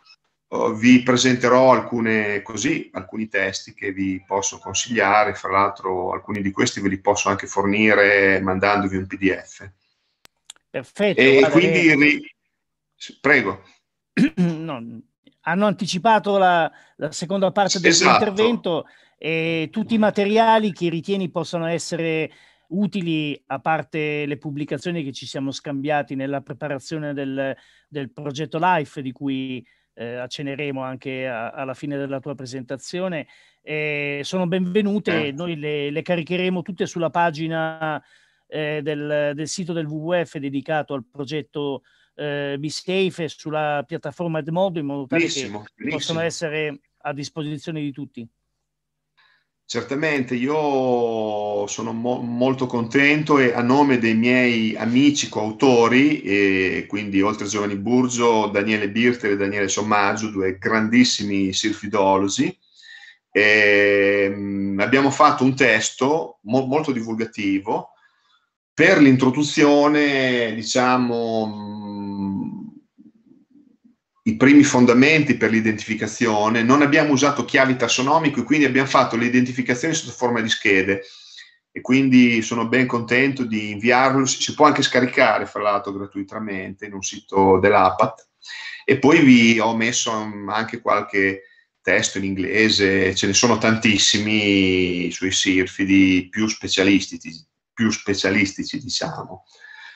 Eh, però mh, facevo notare che dopo quel testo famoso di Rondani, quella monografia sui sirfidi, in Italia non era comparso più un, un testo unico, diciamo, sui sirfidi e l'abbiamo scritto noi recentemente, mh, usando un approccio molto, molto divulgativo, soprattutto eh, per cercare di sostenere, di, di eh, non so se dire aiutare o istruire mh, chiunque si voglia occupare di sirfidi anche nella bioindicazione, insomma, anche nella bioindicazione. Quindi col materiale, eh, non so se c'erano altre domande. Eh, sì, guarda, dom- di domande ne stanno arrivando tante. Eh, direi che mm, io ti farei andare avanti con la tua presentazione. Va bene, come volete voi. Rispondiamo alle due che, mm, che, sono arrivate e poi queste te le, te le ripropongo. Benissimo, benissimo. Benissimo, benissimo. Allora, eh, possiamo fare una piccola metafora di quello che abbiamo detto fino adesso. Abbiamo chiamato gruppo multifunzionale, abbiamo visto le caratteristiche degli adulti, delle larve. Allora sintetizziamo tutto, facciamo una, piccola metafora, i sirfidi sono degli efficacissimi bioindicatori per tutte queste caratteristiche. E ovviamente avete visto che per la presenza di diversi regimi alimentari, occupazione di diverse nicchie, eh, chiaramente sono associati al proprio ambiente e ne indicano la qualità. E la bioindicazione utilizzando i sirfidi analogamente con altri gruppi viene studiata mh, calcolando il numero di specie, ad esempio, presenti in un ambiente, in un habitat. Importantissimo, lo ribadisco, il numero di specie appartenenti ai diversi gruppi funzionali è utilissimo nella bioindicazione, ma in qualunque tipo di habitat o paesaggio, indicare il numero di specie fitofaghe, zoofaghe, ovvero predatrici, saprofaghe, eh, perché questo è associato direttamente, mediante le loro funzioni ecologiche, a, a proprio a, agli habitat in cui gli insetti vivono. Se ci pensiamo, è chiaro che si studiano soprattutto gli adulti, ok, sono buoni impollinatori gli adulti, e si studiano gli adulti perché è anche più semplice studiarli, ma sono le larve a essere i veri bioindicatori, perché sono loro legate a queste funzioni ecosistemiche diversificate. Inoltre la presenza, diciamo, di certe specie, ecco, questi sono i parametri che si usano per la bioindicazione. E la bioindicazione può riguardare gli ambienti agrari, quelli forestali, le zone umide, i parchi, eh, prati seminaturali, ad esempio, e quindi veramente la versatilità è, è, è massima. Vi, vi, mostro un articolo che abbiamo fatto insieme, il mio carissimo amico e e, e collega Daniele Sommaggio eh, sui sirfidi come bioindicatori su scale di paesaggio in agroecosistemi del nord Italia, uno studio che abbiamo fatto in Emilia, diciamo. Questo è un esempio, adesso non voglio infarcirvi di, di, di, di dati, ma per dirvi che insomma ehm, conservazione di sirfidi e qua arrivo piano piano alla risposta di, di, di quelle due domande. Eh, la conservazione di Sirfidi ovviamente è importantissima, è stata studiata, vi cito questo bellissimo articolo che infatti è finito su Science del 2006, questo è stato uno dei primi articoli a quantificare il declino, il declino degli impollinatori, e, confrontando il declino degli apoidei e quello dei sirfidi. Ok? Qua infatti ci sono specialisti di entrambi i gruppi, no, nord europei, ed è un lavoro che ha preso in considerazione dei database nazionali e ha calcolato la richiesta in specie di, di, questi, di questi taxa, quindi apoidei sirfidi, prima e dopo il 1980. Quindi dove è stato fatto in Olanda e in Inghilterra erano disponibili banche dati molto vecchie che ci dicevano le specie che c'erano uh, prima dell'80 e le hanno confrontati con le specie presenti ora. E questo lavoro è stato così, diventato molto famoso nell'entomologia applicata. Allora, qua, qua vedete l'analisi della conservazione di apoidei eh, Britain Bees e Britain Syrphid. È stata fatta studiando le specie presenti in quei quadratini, eh, sono aree di 10 x 10 km, vedete? Il colore rosso indica che abbiamo un decremento, abbiamo un decremento. Il cambiamento di, eh, di num, de, della richiesta in specie, ecco, specie recent change è la richiesta in specie, quindi dove vedete puntini rossi abbiamo un decremento, dove vedete puntini rosa c'è un decremento meno spinto, i colori azzurini indicano un incremento. Vedete a occhio la situazione è un po' diversa per, i, per gli apoidei e i sirfidi. Infatti con i miei studenti magari parlando dico mm, hanno più sofferto le api o i sirfidi?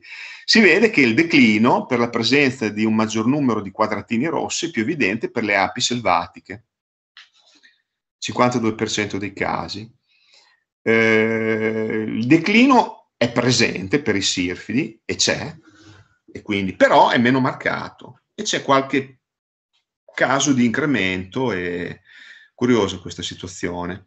Quindi declino per entrambi, più grave per gli apoidei, un po' più contenuto per i sirfidi. Questo in Inghilterra. In Olanda le cose sono simili. Questo è per l'Olanda. In Olanda, insomma, gli apoidei selvatici evidentemente non, non, non stanno molto bene, prevalgono i quadratini rossi di decremento, di decremento e in, in, Olanda c'è qualche caso di decremento, qualche caso di incremento e altri casi di decremento, diciamo, contenuto. Quindi l'andamento è simile, declino consistente per le apoidee, meno marcato per i sirfidi. Questo lavoro è interessante perché ho confrontato, qua, qua vedete la scala, sono 50 km, poi vabbè, è è chiaro perché abbiamo un'immagine dell'Olanda e dell'Inghilterra. Perché? Qual è l'interpretazione? Allora, il declino evidentemente è più marcato per le specie specializzate nell'habitat e nella preferenza fiorale. E come preferenza fiorale gli apoidei sono sicuramente più specializzati dei sirfidi. I sirfidi sono un po' più generalisti. Il declino è più marcato per le specie univoltine, eh, fra i sirfidi abbiamo anche specie polivoltine, cioè che compiono, univoltino significa compie un'unica generazione. Evidentemente se si compie un'unica generazione si è un po' più vulnerabili, ecco. E molte specie di sirfidi compiono più di una generazione. Il declino è più marcato per le specie che non migrano e abbiamo visto che molte specie di sirfidi compiono migrazioni eh, migrando si spostano maggiormente. Quindi questa è l'interpretazione del perché eh, i sirfidi sono stati meno colpiti, pur essendoci un certo declino anche per i sirfidi. Eh, però nei sirfidi abbiamo specie migratrici. I sirfidi sono sensibili al degrado su scala di paesaggio, però sono più generalisti come preferenze fiorali. Eh, I sirfidi mostrano come famiglia un pool di specie, e come l'abbiamo visto, con range maggiore di habitat di sviluppo, sono più versatili, cioè hanno più chance probabilmente. Per i sirfidi il declino potrebbe dipendere, il declino che c'è stato, dipendere da specie più specializzate, che poi ci sono anche fra i sirfidi. Però abbiamo visto che è una famiglia pazzesca, con un, con un range talmente ampio di esigenze che evidentemente per questo motivo si può tradurre con la parola i sirfidi hanno probabilmente una maggiore resilienza rispetto mh, mm, agli apodei. Eh, poi il discorso è complesso e eh, e arriviamo al, al, punto. Vi mostro questo lavoro recentissimo, non l'ho ancora letto bene. Ecco, per esempio, questi sono grandi sirfidologi e Ante Vuic in particolare è un sirfidologo serbo bravissimo. Lui è un, è un sistematico puro e insieme ai collaboratori hanno, hanno pubblicato queste previsioni, hanno fatto un po' le, le previsioni dei sirfidi, diciamo, come le previsioni del tempo, e mi ha, mi ha, colpito, devo leggere ancora con attenzione, però vi mostro che c'è qualche stima anche di cosa succederà futuro, nel futuro per i sirfidi. Previsioni per il 2061-2080 indicano eh, che circa il 50% di specie di sirfidi espandere il range di presenza e il 45% ridurre il range. Mediamente, facendo una stima, diciamo, sui cambiamenti del range di presenza, per la maggior parte delle specie siamo sul 20% come cambiamento di range. Quindi in pratica, mm, insomma, i sirfidi mostrano una resilienza relativamente alta. Insomma, hanno previsto qual- qualche cambiamento, ma circa sul 20%, ecco, come range. Ecco, questo è curioso, questo studio. E, eh, ecco, i sirfidi, arriviamo potenziamento dei sirfidi, valorizzazione della loro attività, eh, sia come agenti di lotta biologica che di impollinazione. Ovviamente, mh, allora, i sirfidi sono un modello di studio per l'agroecologia di sicuro e, e sulle ricadute mh, delle tecniche di gestione del paesaggio, compreso il paesaggio agrario e soprattutto direi a diverse scale è chiaro che ci si basa su una sorta di principio generale che non è un dogma. Eh. Eh, la parola dogma non va mai usata, nella scienza, ma una tendenza che c'è che aumentando, come vedete in questi tre grafici, dal basso verso l'alto, da C ad A, aumentando la complessità ecologica di un ambiente,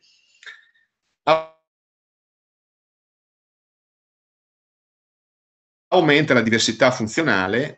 Vedete che ambienti più eh, diversificati dal punto di vista ecologico mostrano delle catene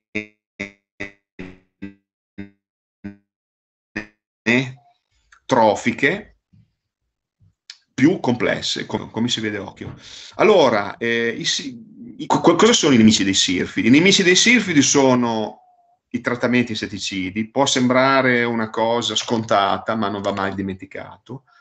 Alla fine, per diciamo, portare avanti modelli di agricoltura sostenibile eh, a qualunque livello, eh, è sempre importante ridurre l'input degli insetticidi, proprio è basilare, cioè se potenziamo la biodiversità vegetale, e poi continuiamo a eseguire tanti trattamenti nei campi coltivati, tutto va in fumo, insomma. Quindi i trattamenti insetticidi sono i nemici dei sirfidi eh, numero uno, diciamo. Due, perdita di habitat e diversità vegetale. Abbiamo visto che le larve frequentano tantissimi ambienti, eh, gli adulti si nutrono di fiori, eh, di polline nettare sui fiori. Quindi la perdita di habitat e diversità vegetale è l'altro nemico dei sirfidi. Tre, la degradazione del paesaggio, cioè quel fenomeno di erosione della complessità che riguarda la scala di paesaggio.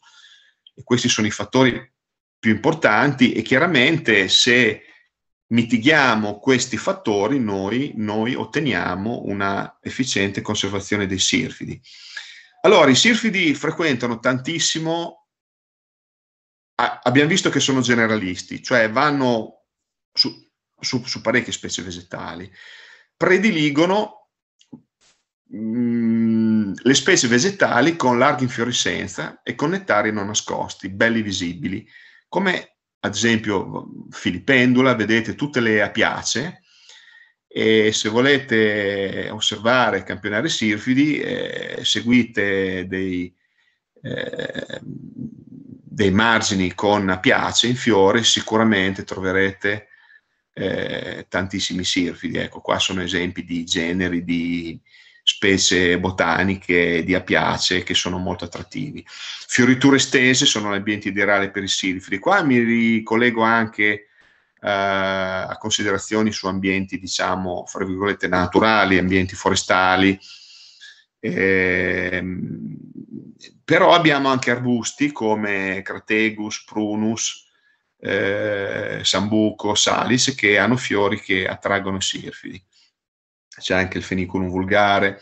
Queste sono tutte specie, diciamo, che favoriscono l'aggregazione dei sirfidi. Quindi, mh, per la conservazione dei sirfidi, la valorizzazione dei servizi ecosistemici, diciamo, soprattutto in, in, in campo agrario, dove magari noi eh, possiamo mh, agire su, su queste variabili agroecologiche, operiamo mediante un aumento della complessità ecologica. Io ho aggiunto, vedete, appropriata, la biodiversità ecologica e l'agroecologia va sempre fatta in maniera direzionata e non a caso, per evitare disservizi sempre, quindi studi direzionati.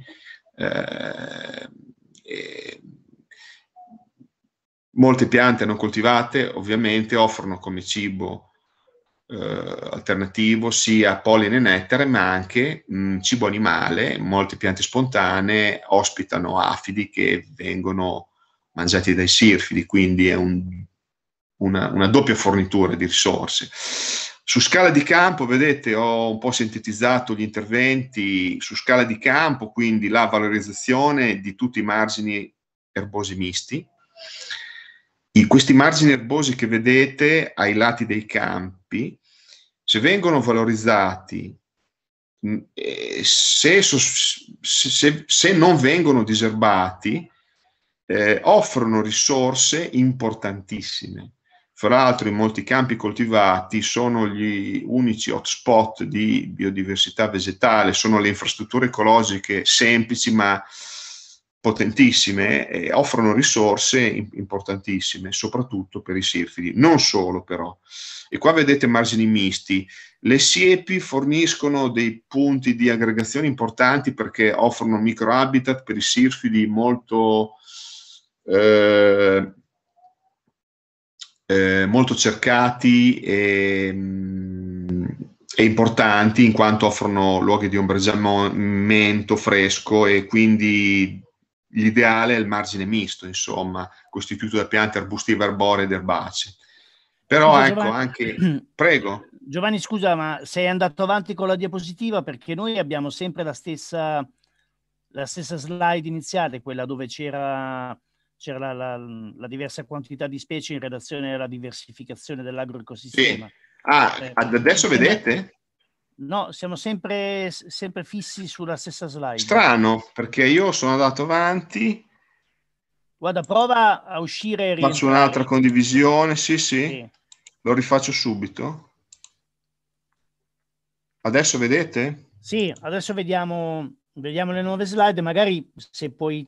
Ah, perfetto a quella precedente. Scusatemi, ma è strano perché io vedo, ecco, sì, eravamo esatto, rimasti noi... qua, no? Esatto, esatto. Ecco, ecco, io, perfetto, eh, grazie per avermelo detto, Franco. Ecco, qua ho mostrato esempi di piante con eh, fiori ampi, con infiorescenze, qua sono filipendula e apiace, ecco, era solo per mostrarvi. Ecco, qua ho parlato molto, eh, ho fatto vedere questa immagine e poi ho mostrato le diverse scale spaziali di intervento in campo agrario, partendo dalla scala di campo e, e, e vedete lì quegli esempi che io ho citato di margini erbosi, margini misti, compresi quindi di specie arboree, arbustive ed erbacee, che sono l'ideale perché offrono una, una struttura complessa. Però anche questi margini erbosi semplici sono Ecco, fra l'altro lì sono presenti proprio delle eh, ombrellifere, piace insomma, che dir si voglia. L'ho fatta io quella foto e ai margini di un campo eh, coltivato nella provincia di Bologna.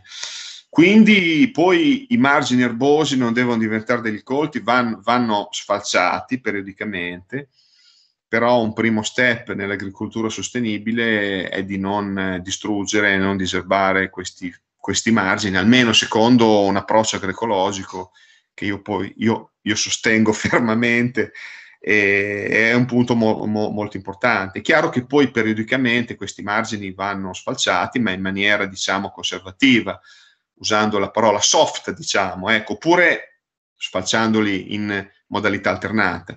Su scala d'azienda possiamo, oltre che a sfruttare queste risorse, diciamo, naturali che abbiamo visto sulla scala di campo, andare a seminare mediante tecniche di intercropping miscugli di specie chiamate nettarifere miscugli oppure, non so, mm, consociazioni polifite che possono essere anche di due o tre piante oppure una unica specie.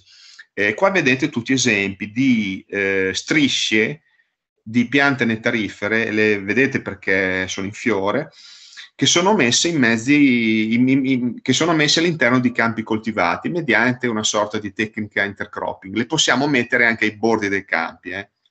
Quella a sinistra l'ho fatta io in un'azienda, lì si vedono fioriture di crucifere, vedete il bel colore giallo. Recentemente le crucifere si usano un po' meno perché sono piante con un certo potenziale infestante, quindi qua si vedono bene perché hanno una fioritura molto precoce, effettivamente hanno una fioritura precoce e caratteristiche mo- molto interessanti, però hanno un certo potere infestante recentemente si preferisce non mettere almeno.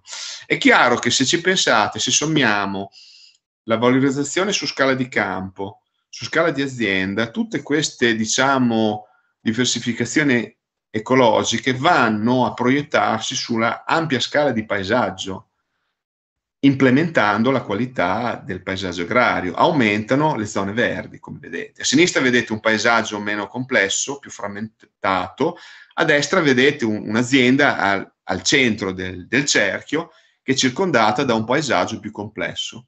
E la complessità si indica proprio misurando la densità dell'infrastruttura strutture scologiche e tutti questi interventi su scala di campo e azienda, queste implementazioni vanno a ripercuotersi positivamente sul nostro landscape, sul nostro paesaggio. Ecco. Vi mostro piante che sono state usate in agricoltura sostenibile per potenziare tanti insetti utili, compresi i sirfidi. La facelia è la prima studiata e io penso che uno dei, sono quasi sicuro, uno dei primi studi negli anni Ottanta del ruolo della faceglia eh, in agroecologia è stato proprio per studiare l'impatto sui sirfidi. Ora, la faceglia è una pianta usata moltissimo dagli apicoltori perché fornisce un pascolo eh, per api apoidei e è una pianta eh, non autoctona, è una pianta alloctona di origine americana Recentemente molti non la consigliano, ovvero la sconsigliano. Adesso io vi cito questo caso perché fatto sta che è una pianta che è stata, è stata la prima a essere studiata e tuttora viene, diciamo, proposta eh, lo dico, una pianta alloctona e poi questo è un discorso molto, molto ampio e complesso, però ecco, alcune persone per esempio non sono molto dell'idea di continuare a inserirla. Il coriandolo, il grano saraceno e come vi dicevo queste sono piante che hanno dei nettari accessibili per le specie fidifaghe. E poi altri esempi di piante, oh, io non, vengo da agraria ma non sono un botanico, eh, quindi eh, la Gastacchia rugosa, una pianta che mi aveva colpito, la, la Chillea, vabbè, varia piace, e un'altra pianta molto interessante che è la Lisso, la lobulare marittima, che fornisce un nettare di elevata qualità, ha una fioritura molto lunga, è un'altra pianta che è stata studiata per implementare i sirfidi. Queste piante possono essere usate in miscugli oppure in, eh, in, in essenza singola, diciamo. Eh, per esperienza la faceglia è una pianta abbastanza competitiva, quindi bisogna stare attenti nei mescugli perché tende un po' a sopprimere le altre, quindi andrebbe messo su fili di Ecco, queste sono le piante che sono state più studiate. Poi il, il, il, discorso, il, discorso, è molto ampio, si possono usare anche leguminose, si possono usare anche piante leguminose che si trovano, diciamo, uh, all'interno delle classiche cover crop e poi se volete ne parliamo di questo argomento per un giorno intero. Il concetto comunque chiave è questo, eh, che ho ripetuto qua, aumentare la complessità ecologica a diverse scale, quindi eh, se lavoriamo più per potenziare il, il, paesaggio, dobbiamo fare in modo che i nostri interventi vadano a rendere più complesso, diciamo, la macroscala. A livello di campo e di azienda, ecco, dobbiamo cercare di eh, valorizzare eh, la biodiversità vegetale in vario modo, compreso la presenza di fiori, ma non solo, in modo da favorire l'attrazione dei sirfidi, la nutrizione, e questo è importante per potenziare la loro fitness, e favorire la loro permanenza in situ e aumentare la possibilità e la probabilità che le femmine vadano a deporre le uova nel campo coltivato, in modo che possa essere potenziata la lotta biologica. Quindi questo ragionamento è molto focalizzato sui sirfidi afidifagi, quindi i nostri sirfidi con larve predatrici. E quindi il concetto è questo. Quindi questo è il, è, questa diciamo è la gestione ottimale del paesaggio per, per, per potenziare la loro, la loro, permanenza e fitness. Vi dico che a livello di azienda i sirfidi offrono risposte molto variabili perché mh, gli adulti sono molto molto mobili quindi alle volte non è semplicissimo valutarli, perché mh, l'aspetto importante, vi, vi, dico subito che se mettiamo queste specie vegetali nettarifere oppure valorizziamo questi margini, troviamo degli aeroporti di sirfidi, eh? quindi su questo l'impatto, cioè mh, la ricaduta sugli adulti è spettacolare, oso dire. Poi se mettiamo faceglia troverete anche tantissime, o altre legum- o, o, oppure leguminose, troverete anche tante api, apoidei, eccetera, a seconda degli ambienti. È chiaro che lo scopo in campo agrario è di favorire eh, non solo la presenza degli adulti, che già sono importanti nell'impollinazione, quindi benissimo, abbiamo già raggiunto uno scopo, ma favorire la ovodeposizione delle femmine nel campo coltivato. Ecco, la lotta biologica aumenta se riusciamo a insomma, a convincere i sirfidi a fermarsi e, e aumentare le popolazioni larvali, perché sono le larve che compiono la lotta biologica. Poi, come vi, vi, ho detto, torno a quel punto, riduzione degli insetticidi, uso di prodotti insetticidi selettivi, quello, quello è fondamentale, che non va mai dimenticato perché è un aspetto che sembra scontato, ma Pensate che se noi utilizziamo tutte queste tecniche agroecologiche per attrarre gli adulti e poi andiamo a fare un trattamento nella cultura vicina, facciamo quello che in gergo si chiama trat and kill. Quindi tutto questo deve essere accompagnato da un uh, utilizzo uh, sostenibile delle risorse, da un tipo di eh, disciplinare di, di difesa sostenibilissimo, quindi la parola chiave è ridurre gli insetticidi e usare quelli selettivi. Altrimenti purtroppo tutti questi accorgimenti possono andare in fumo oppure essere una, diciamo, quasi un, un, un disservizio. Spero di aver risposto a, a, questa, insomma, a questa domanda e non so se ce ne sono altre.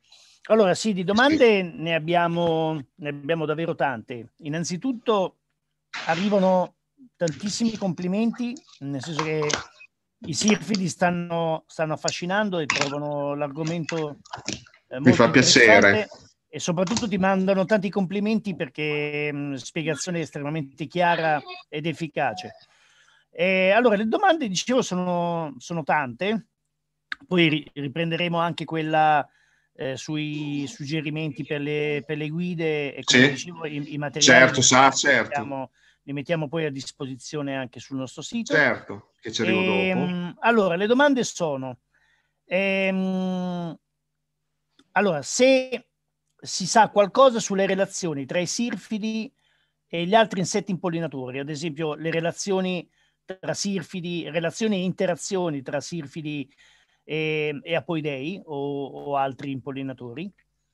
Eh, se i sirfidi sono eh, animali solitari o sociali, come avviene nel caso del, della, dell'ape mellifera, e se sono animali allevabili e in caso positivo con quale tecnica eh, può essere utilizzata per, eh, per allevarli.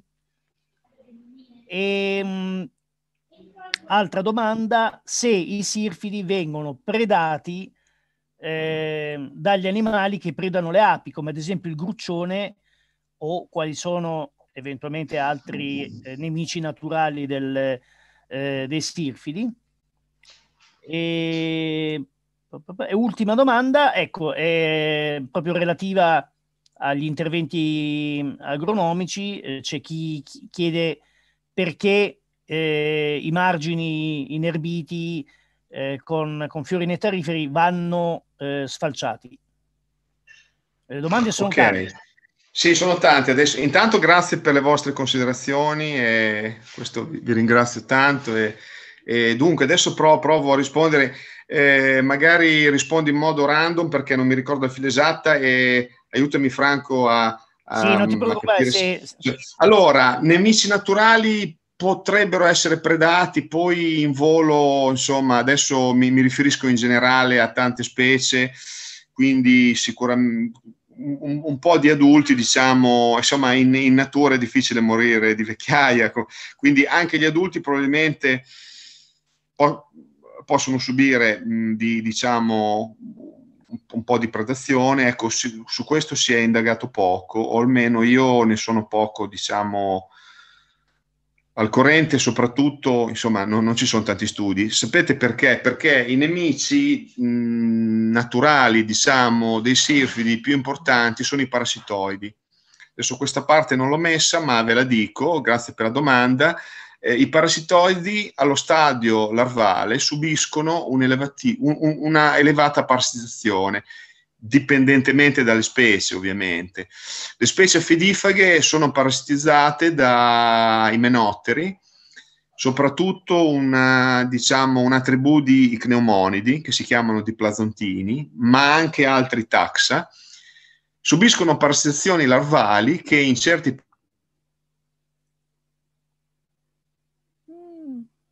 possono essere dell'80% dimostrato. Quindi sono i parassitoidi dei SIRF ad essere nemici naturali, cioè diciamo i loro fattori di controllo più importanti.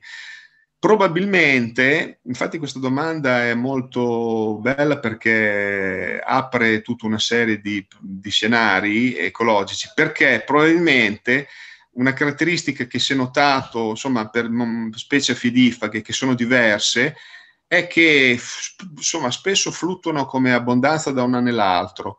E la parassitizzazione di queste specie potrebbe essere uno dei motivi, diciamo, della loro relativa variabilità. Ecco. I margini dei campi, ho detto, vanno sfalciati, diciamo, periodicamente per favorire il ricaccio, per eh, una operazione, diciamo, di manutenzione e, ehm, e per favorire appunto anche il loro ricaccio ed è un'operazione diciamo consigliabile. Io ho parlato di sfalci conservativi in quanto è sempre consigliabile usando questi approcci agroecologici mandare in fioritura le, le piante, quindi mandarle in fioritura come vi ho mostrato ecco in questo fosso sotto per sfruttare appieno tutte le caratteristiche ecologiche che forniscono le piante, soprattutto come risorse fiorali, come presenza di prede, ma poi io parlo di sirfidi, io mi occupo di valorizzazione di agenti di lotta biologica, vi dico anche che fra giugno e luglio si moltiplicano su, su quei margini tante specie di coccinelle. Quindi è importante mh, mantenerle, diciamo, mh, Ehm, per i periodi estivi. Diciamo che magari la manutenzione può essere, lo sfalcio insomma può essere effettuato magari in, tarda estate, ecco, per favorire il, ricaccio, insomma per avere un piccolo compromesso, togliere magari qualche, pianta potenzialmente infestante che in certi periodi va, ecco, era, era, era quello il riferimento alla, alla, gestione che può essere chiamata conservativa. Poi dopo dunque altre domande. Sì, te le, eh, mm, te, ti sì? io la memoria. Eh, un ascoltatore chiedeva eh, se si sa qualcosa sulle relazioni tra i sirfidi e gli altri insetti impollinatori, come ad esempio gli, gli apoidei o altri, ecco, o altri quello, impollinatori. su quello si sa poco, ovvero io so poco, penso che non ci sia tanto, però eh, sono stati studiati i comportamenti di alcune specie di sirfidi, come gli aristalini, che sono molto territoriali.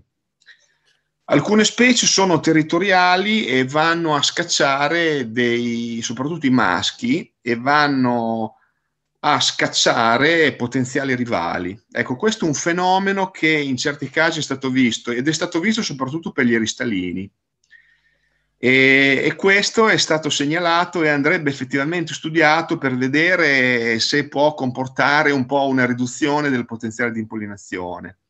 Ecco, studi di competizione interspecifica, a parte magari competizioni dovute alle risorse, io non ne sono tanto a conoscenza, ecco. Però ecco, ribadisco, rispondendo parzialmente a questa domanda, che alcune specie di sirfidi sono territoriali, quindi i maschi possono ostacolare gli individui conspecifici per una questione proprio di competizione con la femmina. E questo infatti è stato posto, questa problematica, anche per studiare metodi per ri- ridurre questa competizione territoriale. Mm.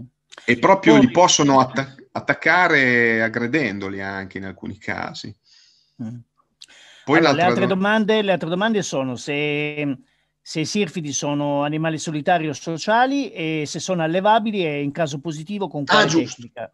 Giusto, giusto, per far, sono, sono, solitari, diciamo, i sirfidi non hanno, non hanno fenomeni di socialità o eusocialità, ecco, questo eh, sono solitari, non sono sociali. Eh, I sirfidi si possono allevare, si possono allevare e prima vi ho citato una biofabbrica che allevava l'Episirfus balteatus, ve lo ricordate l'Episirfus? Sì.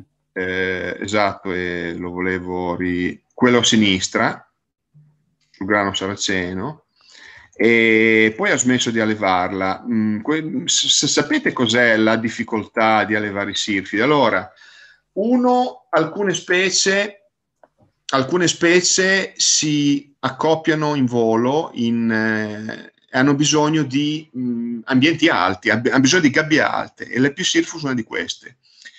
Quindi da levare è difficile perché bisogna avere gabbie molto alte per permettere l'accoppiamento. Altre specie si accoppiano anche in posizione bassa o sulla pianta. Infatti altre specie sono allevate.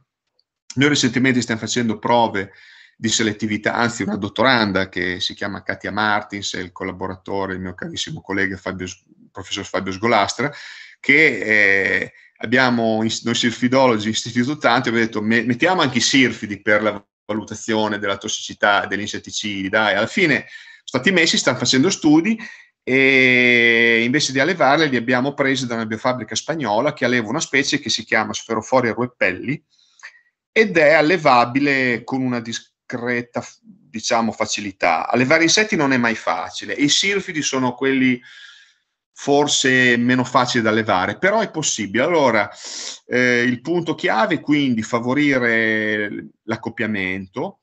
Alcune specie si accoppiano in condizioni più, diciamo, semplificate, anche sulle pareti di gabbie o sulle piantine. Come vi dicevo, le specie che si accoppiano in alto sono più difficili da levare.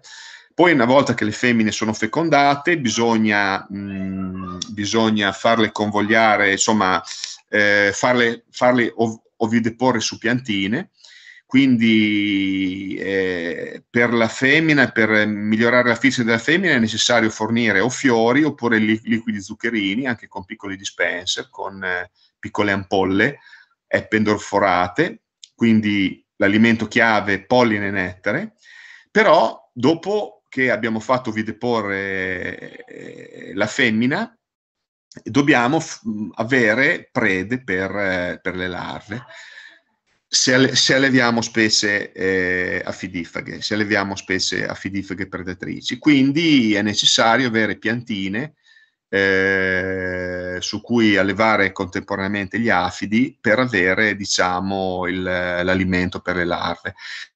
Per alcune specie si riesce a fare, a ottenere, ma cito una carissima amica, grandissima sirfidologa, la Maria Angeles Garcia dell'Università di Alicante, che è stata una delle prime, una, una, una, uno dei primi sirfidologi a allevare queste specie e lei appunto allevava queste specie, Opeodes e Sferoforia, che si allevano mm, un po' meglio eh, di altre. Quindi è possibile. Quindi i, i punti chiavi sono questi, farli accoppiare, avere alimento per gli adulti e, e, avere a un certo momento l'alimento e qua ci vogliono afidi, quindi bisogna allevare piantine infestate da afidi.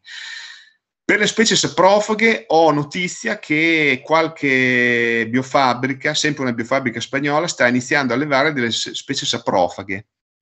Un parente delle, delle eh, si chiama Ristalinus eneus, e, vabbè, adesso, mh, ed è un parente del nostro mh, Ristalis che vediamo a sinistra. È una specie più piccola e nera, diciamo e per queste specie sono saprofaghe, basta avere dei contenitori di acqua con un po' di sostanza organica, fare deporre, eh, fare deporre dalla femmina e poi penso che l'allevamento di queste specie sia relativamente semplice perché hanno, insomma, le larve vivono in questi liquami, nei fossi, nelle pozzanghere. È interessante che questa specie st- si sta allevando sicuramente come potenziale, di, come potenziale impollinatore. Ecco. Comunque i, i punti salienti nel, nella, nell'allevamento sono questi, spero di avervi risposto. Sì, guarda, un'altra domanda è arrivata, sì. visto che avevi proprio la diapositiva sulle specie. Ehm, ci chiedono se sarà possibile avere tra i materiali che, che ci metti a disposizione una, una, lista di specie per poter Mm, realizzare una sorta di giardino per i sirfidi. Specie vegetali? Sì, specie, specie vegetali. Ah, va bene. Io poi quelle specie che ho citato, guardate, eh, tutte queste specie, e adesso quest'anno nella mia terrazza ho già un po' di... con eh, menta, varie piante, ho seminato anche la facelia in qualche vaso. Tutte queste piante sono, a parte gli scherzi, sono adatte. Pensate che la Lisso che vi ho citato si chiama lobularia marittima, comunque mh, ve ne posso, vi posso procurare ulteriori lavori, ma questo sintetizza abbastanza perché come vi dicevo, queste specie che vedete, Fenicum vulgare, Achillea, Alisso, quest'altra pianta, la Gastacchia rugosa, la conosco meno ma l'ho vista, coriandolo, grano saraceno sono tutte piante eccezionali. Aggiungo tutte le ombrellifere, o a piace, scusate, a me viene distinto chiamarle ombrellifere, so che adesso vengono chiamate più favorevolmente a piace. Tutte queste piante, pensate anche alla Daucus carota, che è una pianta, diciamo, comune, fra l'altro poco infestante, sono tutte piante eccezionali per attirare i sirfidi. Poi i sirfidi sono molto generalisti, quindi eh, prati, anche ranuncoli, insomma, tu, tutte queste piante che, che vanno, vanno, bene. È chiaro che se mettete queste, queste sono proprio eccezionali. E, e quindi... Allora, un'altra domanda è... Um, un ascoltatore ci segnala che un suo Anche collega... leguminose. Per... Eh, mi senti? Sì, certo. Sì, ok, no, dicevo un'altra domanda. Eh, il collega di un ascoltatore ci segnala che ha osservato numerosi esemplari di sirfidi nel periodo di fioritura dell'edera. Secondo te c'è un collegamento? È, stato, è stata studiata una relazione tra, tra l'edera e i sirfidi? Eh, non tanto, devo dire però è interessante, l'edera in quel periodo fiorendo, eh, oh, adesso non voglio, è eh, una fioritura abbastanza precoce mi sembra, fino inverno se ben ricordo. Mm. È una pianta che viene diciamo frequentata da tanti impollinatori perché in quel periodo eh, penso sia una, una, delle poche piante presenti. Devo dire, no, interessante comunque. Mm, grandi studi non ce ne sono, grandi studi non ce ne sono probabilmente in virtù del fatto che in quel periodo, diciamo, in certi ambienti una delle poche piante, sicuramente presa d'assalto, ecco, interessante comunque questa cosa. Non mi risulta ci siano tanti studi, in ambiente urbano comunque offre sicuramente parecchie risorse. Bene. Hai qualche, qualche pubblicazione, qualche libro da mostrarci, al di là di quelle che ci manderai? Sì, certo. Allora, vi dico prima dei libri che abbiamo parlato di bioindicazione. Pensate che per i sirfidi è presente questa banca dati, si chiama SirfTheNet, per analizzare la qualità degli ambienti. È stato fatto per i sirfidi dal grandissimo sirfidologo Spate, irlandese, e collaboratori, ed è un sistema standardizzato che è valido per tantissimi habitat, che utilizza i sirfidi, e questa era veramente l'ultima slide, come indicatori, ma questo principio è estendibile a tutti gli altri gruppi di insetti. La filosofia è di confrontare specie attese con quelle osservate, che è il punto della bioindicazione, e permettere di calcolare la cosiddetta funzione di mantenimento della biodiversità, che è un metodo per misurare la qualità di un ambiente. In pratica noi, quando analizziamo un ambiente, campioniamo i sirfidi con quelle tecniche che vi ho mostrato e abbiamo le specie osservate e le rapportiamo alle specie attese. Le specie attese sono fornite da SIRS-The-Net, habitat per habitat. Ok? Quindi quando, questo rapporto raggiunge il 100% significa che tutte le specie attese sono osservate, l'ambiente è al top. Man mano la percentuale cala, l'ambiente vuol dire che eh, ha subito qualche forma di degrado, viene tollerata una certa percentuale di specie che non vengono campionate, ovviamente, come ero sperimentale. Questo in virtù dell'associazione stretta habitat-specie. E quindi questo è un metodo, vi dicevo, che permette a chi esegue uno studio con i sirfidi e sa interpretare questa banca dati, che fra l'altro è gratuita, questo SIRS-Net, eh, di eh, avere un parametro di analisi ambientale si raccolgono specie, si fa uno studio e io dico sempre, e poi come usiamo questi numeri? Sono 18, sono 39, ecco, questo è un metodo, diciamo, standardizzato che ci permette di avere una valutazione. Come vi dicevo, le specie osservate si stimano con un monitoraggio. Io sono in questa foto insieme al carissimo amico Daniele Sommaggio, ehm, grandissimo sistematico, e che stiamo montando una malaise vicino a un vigneto. E le specie che ci attendiamo sono fornite da, da ambiente per ambiente. E ve lo volevo sottolineare perché i silfidi hanno questo modo peculiare, che nel nostro libro poi parliamo, di analizzare l'ambiente e calcolare, diciamo, un parametro semplicissimo che però ci dà un'indicazione quantitativa della conservazione del nostro ambiente. Perché se spariscono certi habitat, spariscono anche quelle specie che vi ho mostrato prima che sono collegate a quegli habitat. In questi silfidi sono molto sensibili.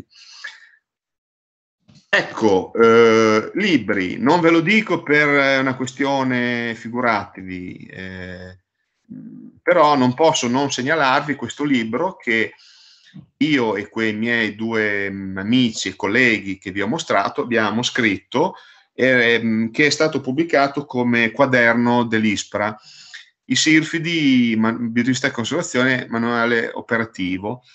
E abbiamo scritto questo libro, diciamo, per compensare la mancanza di testi monografici sui Sirfidi. Ecco, qua siamo noi, eh, lo mostro anche a nome dei miei carissimi amici, eh, queste le nostre email, eccetera. E adesso il mio dipartimento ha già cambiato due nomi da, da quando nel giro di 3-4 anni, vi chiedo scusa. E come vedete, offriamo una così una, un, mediante un testo divulgativo mm, un po' di indicazioni per studiare i sirfidi per la, loro, per la conservazione dei sirfidi e per la bioindicazione cerchiamo di dare qualche chiave interpretativa alla bioindicazione nei principali ambienti, ad esempio agrari, eh, ambienti umidi, eh, ambienti forestali, eccetera. E, e, fra l'altro abbiamo pensato di presentare una settantina di specie, mi sembra 75, è un numero che è una settantina, attraverso delle schede che vedete molto semplici, in cui descriviamo le specie, mettiamo una foto senza perdersi in eh, chiavi tassonomiche complicate che fra l'altro ci sono già. E quindi per eh, diciamo, un approccio e per comodità, per, mh, mm, si può cercare di identificare, qua vedete l'Episirsus sbalteato a sinistra e a destra, guardate che bello, l'Eristallinus tenio, guardate che begli occhi che ha, quegli occhi zebrati, eh, iridescenti, che sono, sono, stupendi. Ecco, se beccate quell'iristallino lì, vedete un, è la radice quadrata dell'iristalis tenax, un po' più piccolo, ha quegli occhi di quel tipo lì, voi avete già beccato la specie, chiaramente abbiamo indicato specie che sono identificabili, diciamo, in maniera abbastanza semplice, oppure abbiamo messo specie eh, abbast- rare che hanno un significato conservazionistico. Quindi noi offriamo questo suggerimento di cercare di identificare i simboli, guardando i sifili, guardando le somiglianze morfologiche, le caratteristiche.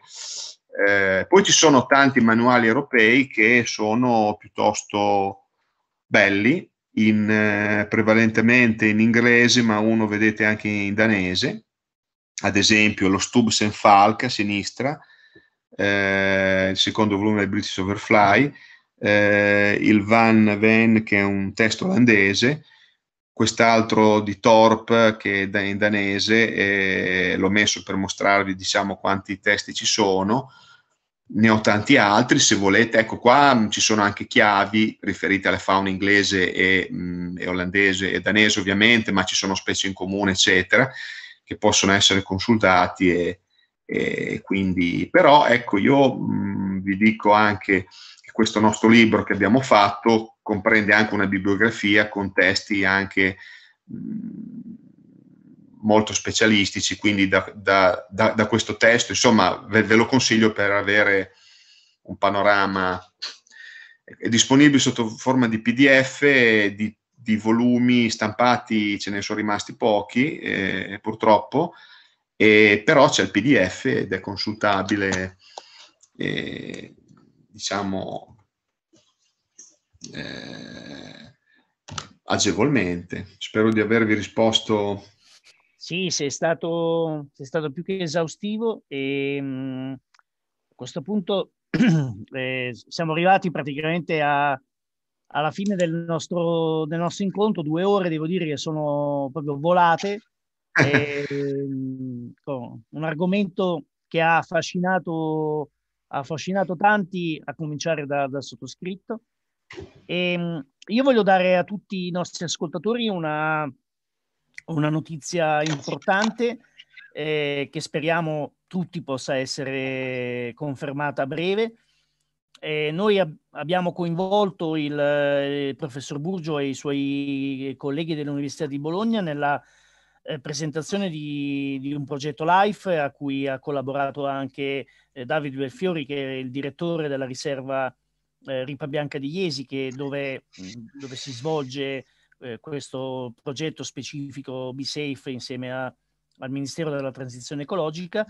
E, mh, questa cosa la segnalo perché una delle azioni previste eh, da LIFE, che si chiamerà LIFE Poly Network, ehm, è proprio il coinvolgimento di eh, gruppi di volontari, di, di, cittadini comuni in attività eh, di citizen science proprio per eh, il monitoraggio eh, di tre gruppi eh, importanti di impollinatori, uno sono eh, diciamo le, le, farfalle diurne e le epidotteri diurni, l'altro sono i apoidei, probabilmente ci focalizzeremo probabilmente sui bombi, e, ma un altro gruppo è proprio quello del, dei sirfidi e, e, le attività di citizen science legate ai sirfidi sono un, un po' una novità perché eh, fino ad oggi è un gruppo che è stato seguito soprattutto da, dagli specialisti, da, dagli entomologi. Quindi l'idea proprio di eh,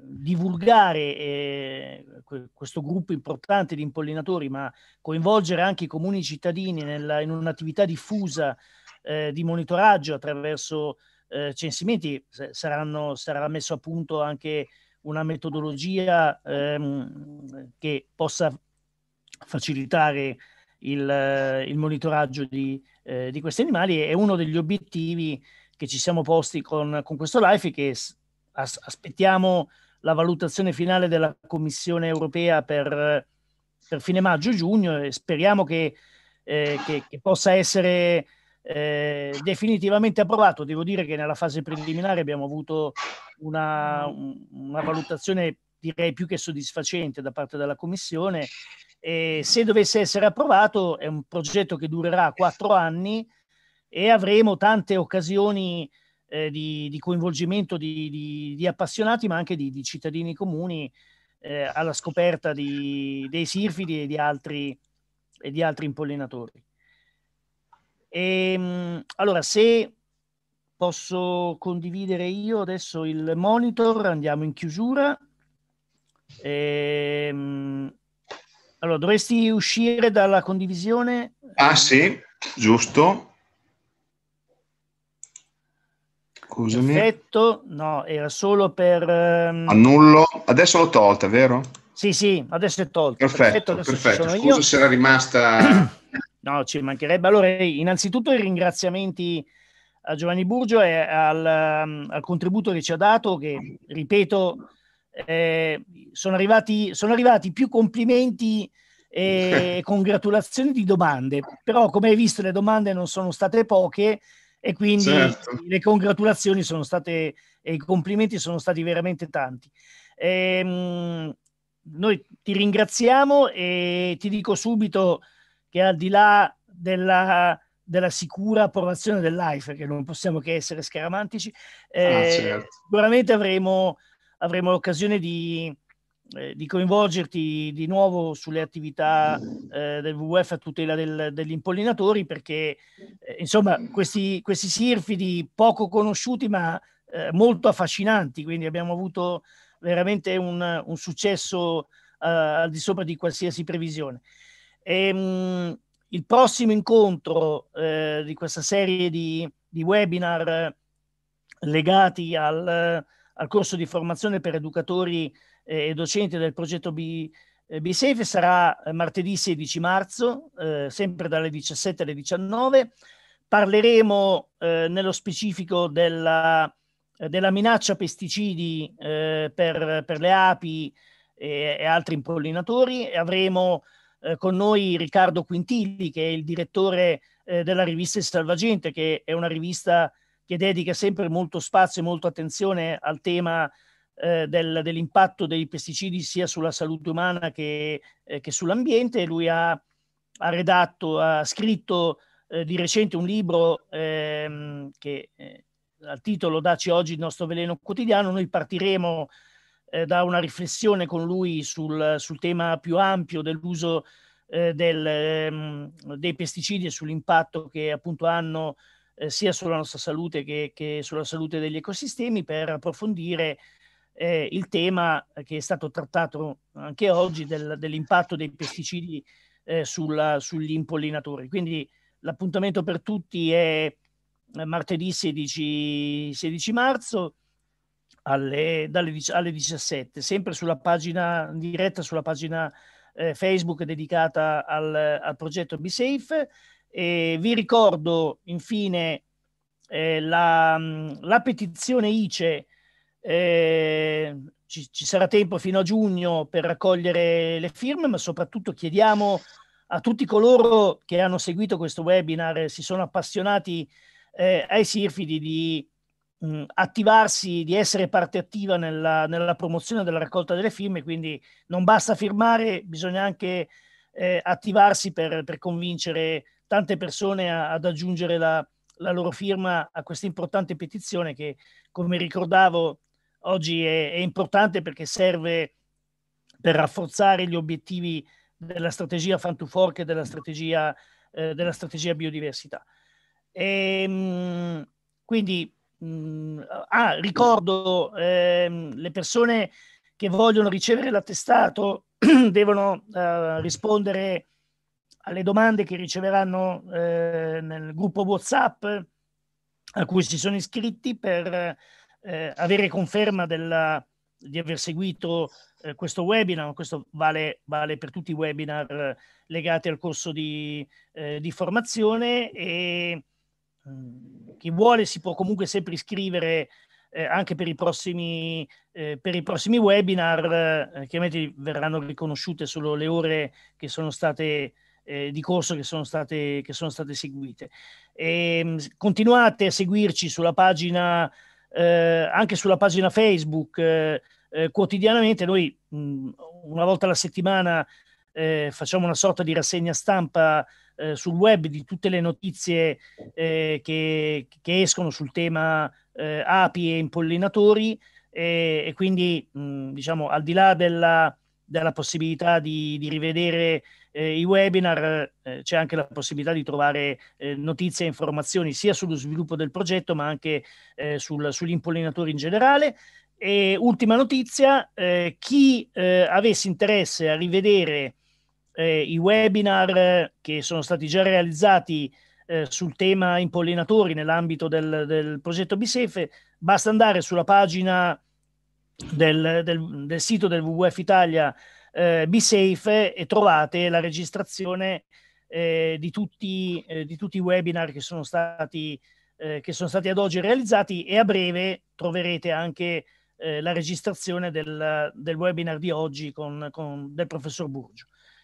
Ehm, bene, abbiamo, abbiamo terminato. Ehm, non posso che rinnovare... Un, un, brevissimo saluto, posso fare un velocissimo saluto a tutti gli ascoltatori e ringraziandoli per l'attenzione. Saluto e ringrazio anche voi, iniziando da te da Franco, da Rina, David, eh, saluto e, e per avermi invitato, mi ha fatto molto piacere.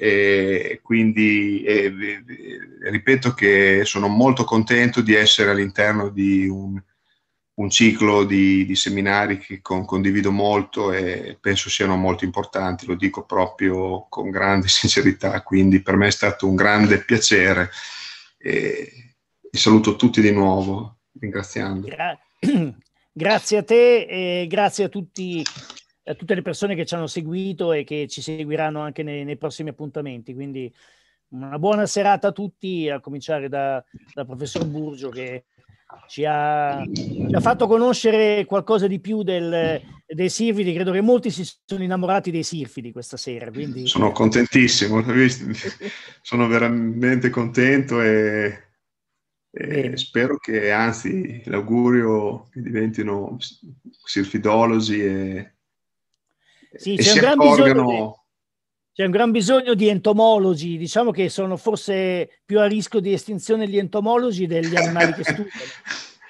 Eh. Potremmo dedicare un webinar proprio al, Vero. all'estinzione degli entomologi. Gli entomologi, bisogna aiutarli. sì, esatto. Benissimo. Grazie a tutti, arrivederci.